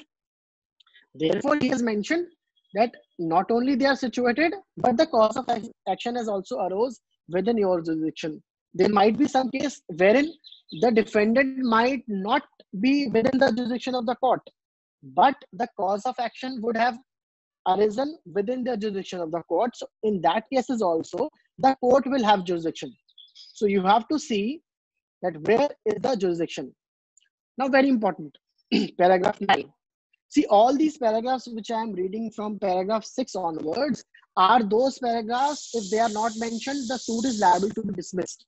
So we have to be very careful when we draft a suit that these mandatory paragraphs are there Now, paragraph 9 is the valuation paragraph. So when we deal with order 7 rule 11, we will see that all these facts, all these requirements of law have to be there. And in case they are not there, the suit is liable to be dismissed. Now, in this, I value my suit for injunction and for jurisdiction because in Delhi, uh, in in, uh, in states like Delhi and other states, the civil court has jurisdiction on the basis of pecuniary and pecuniary, the money involved, the amount involved. So a civil court has jurisdiction for a particular amount. A senior civil judge has jurisdiction for a particular amount. A sessions court has, or the district judge has jurisdiction for a particular amount. And for example, the High Court in Delhi has jurisdiction for more than two crores. If a matter is for an amount for more than two years, the High Court would have jurisdiction. So therefore, I tell the court that the court fees and the fee for your jurisdiction is fixed at rupees thousand, and therefore I am appending the requisite court fee. And as an abundant precaution in paragraph 9, you will see I also tell the court I give an undertaking that in case my calculation is wrong, I undertake to make good the deficient court fee, if any. So I am leaving the window open that in case there is any deficiency, I will make the deficient court fee, I'll be paying the court fee. Therefore, the court may not dismiss my suit at the first date itself. Now, next paragraph is a standard paragraph. It is not any, you know, it is not a statutory requirement, but usually we have, you know, the parties say that we have a good prima facie case and we are likely to succeed, and the suit is filed bona fide. So this is not a requirement of law, but this is a practice which is consistently followed. Now the other, this paragraph 11, I this is called a non-filing clause. So by this, we give a declaration to the court that on the same cause of action and on on the and on between the same parties, another suit has not been filed. So in order to avoid avoid multiplicity multiplicity of proceedings, we should only file one suit with dealing with particular issue. And order 2 rule 2 always you know there is a bar under order 2 rule uh, order 2 rule 2 that a subsequent sh- suit should not be entertained on same cause of action. So by paragraph 11 we clarify to the court that this is the only suit which we have filed under the same cause of action now thereafter we have prayers which are which we are uh, requesting to the court to grant us so in paragraph 5, I tell the court what are the relief which I'm claiming. And in this prayer clauses, I am claiming those reliefs in writing, clearly explicating them so that there is no confusion. Now, now if you see next page after the prayers, plaintiff has signed, the next page is verification. As we discussed, very important. Verification. You see i so and so in some of the cases if the plaintiff is the party himself or is an individual so you'll write i so and so the plaintiff but because we are dealing with an association so the general secretary was authorized there therefore he is being the he is the person who's giving this verification so if you see it says that i so and so the general secretary of plaintiff association do hereby verify that contents of paragraph numbers. So I'll mention the paragraph number. So and so of the suit are true and correct to by my knowledge, and those paragraph numbers so and so are true and correct on the basis of information received and believed to be so. So there's there are this these this verification is twofold. One is premised upon his personal knowledge, and second one is on the basis of the knowledge which he which he has received by documents or by oral. Now, the third is the contents of para number so and so are based upon the legal advice received and which is believed to be correct. So, what happens? All these cause of action paragraphs, the jurisdiction paragraphs, and the relief valuation paragraphs are not in the knowledge of plaintiff. These are the paragraphs which he has gathered knowledge from the lawyer lawyer has advised him that i have to write so and so so and so particular thing in order to satisfy the requirement of the law. So he has received a legal advice from the from the lawyer, and that advice he is believing to be correct. So therefore, there is a distinction which we are bringing out that yes, these particular paragraphs are only on the advice of the lawyer and which I'm believing to be correct. So therefore, later on, there is no advantage taken by other side ki bhai aapko to law ki knowledge nahi hai, how are you showing this thing? How have you written? How have you written these facts? Are you qualified in law? So before other side raises this objection, we are rectif we are preempting that by writing this thing. Now, the last par- paragraph contains the prayer and submissions to the Honorable Court. Now, plaintiff and thereafter. Now, if I may take you, the next page, you will find an application under Order 39, Rule 1 and 2. So, what we do in civil cases, that we file an application seeking interim relief from the court. And the interim relief is usually filed when we know that the purpose of filing the main suit main suit may get defeated or may get lost if the interim relief is not granted. So, for example, if the present suit is going to take five years to be decided, so the parties have to be given an option or a mechanism or a situation has to be drawn that parties do not suffer. And you know, I filed a suit, but the person keeps on representing it or keeps on representing or is being entertained as a cadre based association. So my filing of the suit has no purpose. It's an exercise in nullity. So therefore, I'm going to file an interim application that you during the pendency of the suit the defendants be directed not to do particular act. Therefore not to be entertained as a association dealing with cns cadre. So this is an application it is a completely different concept. I'm not going to get into the details of the, this application because it's a separate law how order 39 1 and 2 application has to be dealt with how it has to be filed what are the requirements and how we have to uh, you know what are the grounds on which it can be filed now, very another important thing is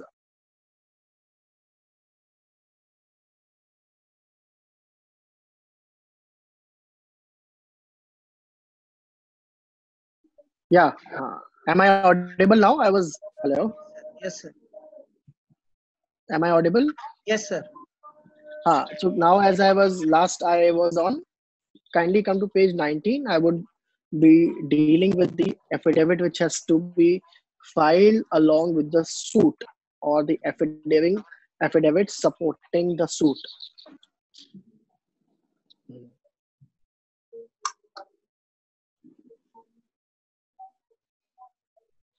It is at page 19 yes. So this affidavit now if you see in affidavit uh, before i deal with this affidavit i'll tell each and every participant of this uh, webinar that affidavit is one of the most crucial part of pleading but sadly it is neglected by lawyers. We have a format of affidavit which we usually file and not adequate attention is paid to drafting of an affidavit. And any lawyer who has technical knowledge of how affidavit has to be filed can destroy your case only on the basis of your affidavit. Because see in court every assertion has to be supported with a proper affidavit. In case the affidavit is improper or is irregular or has some defects the other side is going to take advantage. And by from the uh, off the cuff i can tell you uh, amar singh's case in supreme court i think of 2010 or 11 changes this law and it requires justice uh, justice um, um, Singhvi, G.S. Singhvi of Supreme Court says very clearly that affidavits are not mere formality and you have to be very, you have to follow the law which is required to draft an affidavit and in case the affidavit is not properly drafted the evidence will not or the document will not be taken on record so affidavit is very crucial now if I see the affidavit, I firstly define who is the author of this affidavit. So, uh, Mr. Ashok Kumar Garg, who is so and so, who is the secretary, is the author. His age is mentioned and his residence is mentioned. He defines now in paragraph one, he is going to tell that how is he competent to swear this affidavit. There are two aspects. One is affidavit and one is competency to swear that affidavit. You may be so swearing an affidavit but you have to tell the court that yes i am competent. So he says i am the general secretary of the association and as such i am well conversant with the facts and circumstances of the case and hence competent to swear the affidavit. Now how he is deriving his competence on two bases number one that he is general secretary and secondly he is well conversant with the facts. Either of them is missing, he is incompetent because if he's only general the second general secretary and he does not have knowledge of the facts, that disentitles him. But for example, if he's only well conversant with the facts but not the general secretary, he is not competent because the bylaws of the association requires only a general secretary to sign the legal document. Now, in paragraph 2, he says, paragraph 2, if it can be brought up little. So, paragraph 2, he says that the accompanying plaint suit has been drafted by my counsel under my instructions, and the contents of the same are true and correct to the best of knowledge and belief. So, this is not only his affidavit, but it also indemnifies the lawyer who has drafted the suit or who has filed the suit. Because in this affidavit, he is saying that I have instructed my lawyer. The drafting has been done under my instruction. So it serves as a protection. So, for example, what we see sometimes client do mislead lawyers, or there are certain facts which are exaggerated. So, therefore, if there is something some misstatement or false statement given to the court there is a protection available to the lawyer that i have drafted it as per the instructions given to me. And there is an affidavit of the client on record which says that yes this suit has been drafted. So whatever facts i have stated are on the basis of his instructions. So this serves a double purpose. It not only it gives an affidavit to the court but it also gives a advantage or kind of a protection to the lawyer concerned. Now, similarly, we have a verification clause in this affidavit also. It is not a paragraph wise uh, verification as was there in the suit. It is only the verification of the above affidavit, above two paragraphs. So he clearly says that I am verifying that the contents of above two above affidavits are true and correct and nothing has been concealed. So this is how a suit has to be drafted certain requirements of law have to be taken care with. Now the other aspect which i have to deal with this is an application under order 7 rule 11 that is for rejection of plaint. Now before i would before i deal with order 7 rule 11 i would request you all to kindly have order 7 rule 1 because order 7 rule 1 tells you what is what a plaint requires to do. So those of them who don't have order 7 rule uh, those do not have cpc handy with them what i will do i will read out order 7 rule 1 now order 7 rule 1 says the particulars to be contained in plaint. The plaint shall contain following particulars firstly the name of the court in which the suit is brought. If you compare it with the suit the first the suit which we have taken as a as a in the presentation the first head the first heading itself the first heading itself deals with the court in which the suit is filed. The name description and place of residence of the plaintiff so paragraph 1 of my plaint i showed you that how the name the plaintiff who is the plaintiff the residence description has been given now C, subclause C requires the name. Yes, sir. okay. Okay. So yeah. So last last I was reading, or I was going through. I was taking through, um, taking people through order seven, rule one. So order seven, rule one, A and B I have dealt with. C deals with that you have to mention the name, description, and the place of residence of defendant so far as they can be ascertained. So you see difference between B and C. In name of plaintiff, the word so far as they can be ascertained is not mentioned only because the plaintiff is always before the court. He has come to the court to file this particular suit. So therefore, there is no need. But for defendant, because he has to be summoned and he has to be brought before the court, therefore, additional words are mentioned that so far as they can they can be ascertained. D would be where where the plaintiff or defendant is a minor or a person of unsound mind, statement do that effect. So we are not going to deal with this particular situation. Important is subclause E, the facts constituting the cause of action and when they arose. So if you read paragraph 8 of my suit, it talks about how the cause of action has arisen. The facts have been given. Then the dates have been given that when it arose because the requirement of order 7 rule 1 is not only the fact should be the given should be given on record but also the date should also be given when those facts had arisen or when the cause of action has arisen. Subclause f the facts showing that the court has jurisdiction. So very important that you have to allege the facts that how the court before which you have filed a plaint has jurisdiction. It can be done in multiple paragraphs. There is no requirement that there has to be a one dedicated paragraph with regard to the jurisdiction of the court. The entire reading of the plaint should ensure, should convey that this court has jurisdiction. But one specific paragraph is added as an abundant precaution to tell the judge that yes, this court has jurisdiction on so and so facts. G, the relief which the plaintiff claims. Clearly mention the relief which you're claiming from the court.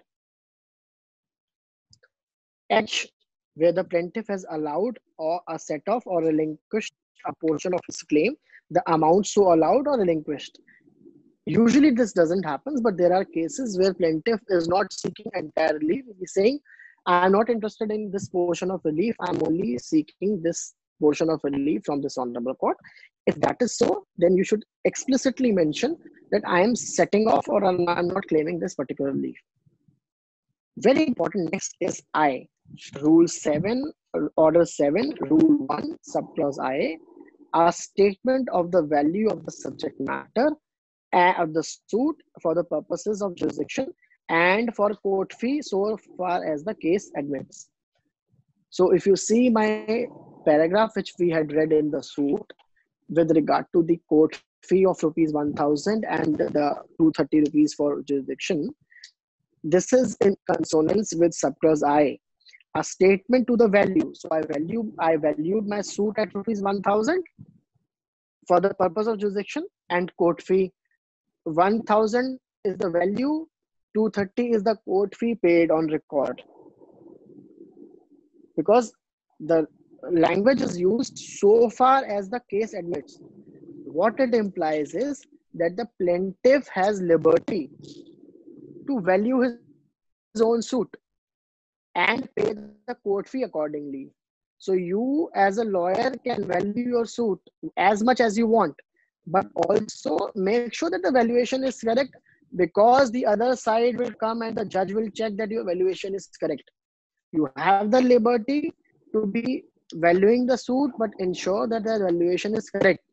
Just because you have the liberty, don't value the suit at the lowest amount in order to save some court fee. For example, you are filing a suit for recovery of possession of a property of worth market value 5 cr and you're valuing your suit at rupees 5000 thereafter therefore paying rupees 1500 as court fee don't do that because that is incorrect valuation suit is liable to be dismissed. Now we have read what are the particulars which are there which are man- mandatory to be the part of the plaint. Now i would come to the section that is order 7 rule 11 which deals with rejection of the plaint. Now why i have read 7 order 7 rule 1 because when you will read order 7 rule 11 you will see that the majority of the grounds on which a rejection can be claimed or is done is mentioned is for the violation of order 7 rule 1 when we will read order 7 rule 11 you you will understand that what what well why, why the order 7 rule 1 is so important. Now number 1 the courts the act says order 7 rule 11 rejection of plaint the plaint shall be rejected in the following cases. Number 1 where it does not disclose of disclose a cause of action. So this read this in consonance or in comparison with order 7 rule 1 subclause e. Order rule order 7 rule 1 tells you to give court cause of action and the date. And in case you don't give it order 7 rule 11 says this is the first and foremost ground for rejecting of the plaint. Second ground subclause b is where the relief claimed is undervalued and the plaintiff on being required by the court to correct the valuation within a period of time to be fixed by the court fails to do so. So subclause order 7 rule 1 subclause 1 i what requires you to value your suit and file and and value the suit and file appropriate court fees. In case you fail to do so 7 rule 11 subclause b gives the power to the court to dismiss the suit in case the valuation is not amended. C, where the relief claimed is properly valued, but the plaint is written upon paper insufficiently stamped, and the plaintiff, on being required by the court to supply requisite stamp paper within the time to be fixed by the court, fails to do so. Now, what happens that you have valued your suit correctly, but you have not paid the appropriate court fee by way of stamp papers. So therefore, the court is entitled, firstly, as a matter of principle and as of statutory requirement, the court will ask you to the court will ask you to stamp it appropriately and in case you fail to do so the court is going to dismiss your suit d is where the suit appears from statement in the plaint to be barred by any law.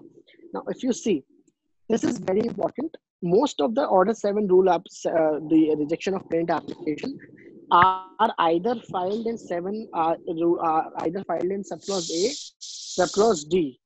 D is that the your suit on the reading of plaint is barred by law. Now, if I may give you an illustration, illustration would be a arbitration proceeding now, Section 8 of the Arbitration Act bars the jurisdiction of civil court,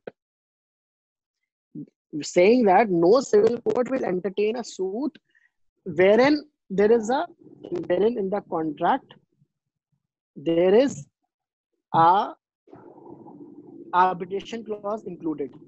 So in that case, the jurisdiction of civil court is totally barred. So now there is a situation before the court that a plaint is filed in which a document is supported or a, a assertion is made in which it is mentioned that the dispute between the parties has to be arbitrated or there is an arbitration clause so in that case the the suit is barred by law therefore the court would be entitled to dismiss the suit under section order 7 rule 11 subclause d now subclause e where it is not filed in duplicate that is when we file a civil suit, we have to give an additional copy in order to serve the other side or to be placed on the record. This also is mentioned that if you are not filing it, uh, you're not filing the duplicate, the court will be under the power to dismiss the suit. Usually it is not done. Usually it is not done because it's a very small lacuna and it can be easily easily rectified. Last one is where the plaintiff fails to comply with the provisions of Rule 9. So Rule 9 requires certain things which has to be done that if those things are not done, then the suit can be liable to be dismissed and rule 9 says that court will direct you to file number of copies of the plaint and if you still don't do it, it will be dismissed.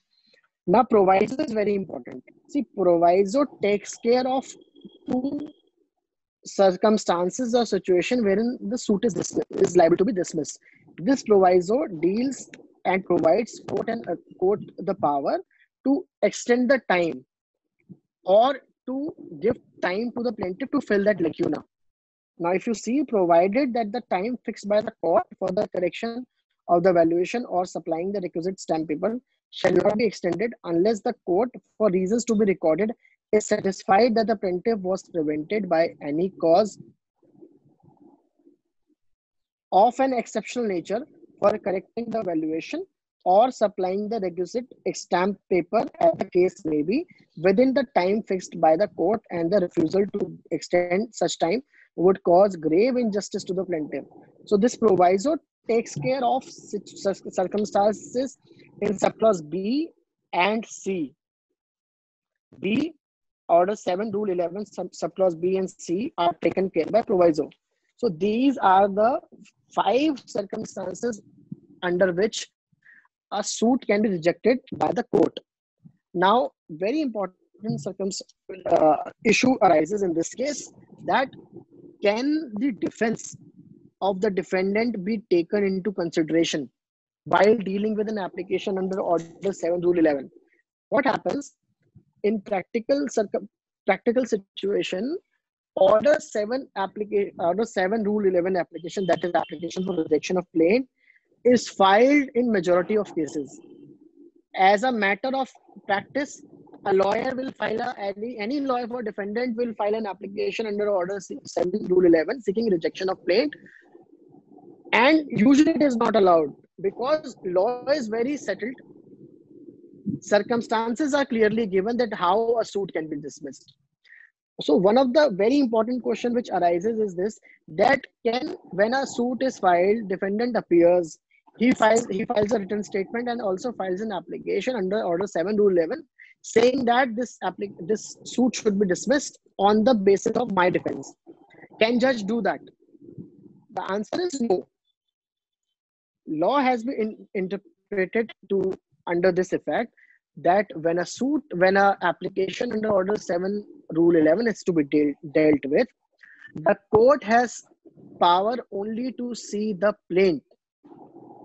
On the basis of the plaint if the suit is made out jurisdiction is there court fee is paid valuation is correct relief is right suit is not barred by law the suit has to proceed. A defendant may have a good case on merit to say that no relief can be given because i have done my obligation. The court cannot at the stage of order 7 rule 11 look into that and say i will not entertain the suit. Second thing, under CPC, every suit is maintainable. CPC in the beginning gives a presumption that every suit is to be entertained unless expressly barred. So the plaintiff has a, is always on a higher footing or on a higher footing that a suit is maintainable. So therefore, defendant has to make out a case under these five clauses under Order 7 Rule 11 to seek dismissal. So with this, I had to deal with one another aspect with regard to I had prepared one SLP also, but uh, I think I'm lacking on time. The presentation took more more time than I expected. What I will do, I am going to leave the presentation which I prepared on the SLP as I did on on, on, on the civil suit with the organization with Mr. Singh and it can be circulated among the students. The principles remain the same as of, of drafting of, of the plaint. Only the format, certain requirements of law get changed, which I have been, which I have briefly mentioned in my in the presentation. It can be it can be perused by the participants, and uh, if there are any queries, the queries can be left with the with the organizers, organizers and I'll be very happy to answer them. And uh, it was a pleasure. It was a good session. And I, I congratulate Mr. Singh for organizing such event. Thank you very much. Thank you so much, sir, for such an enriching and knowledgeable session. And I hope that the attendees must have been inspired and they have a lot to gain from this. Thank you so much, sir, once again.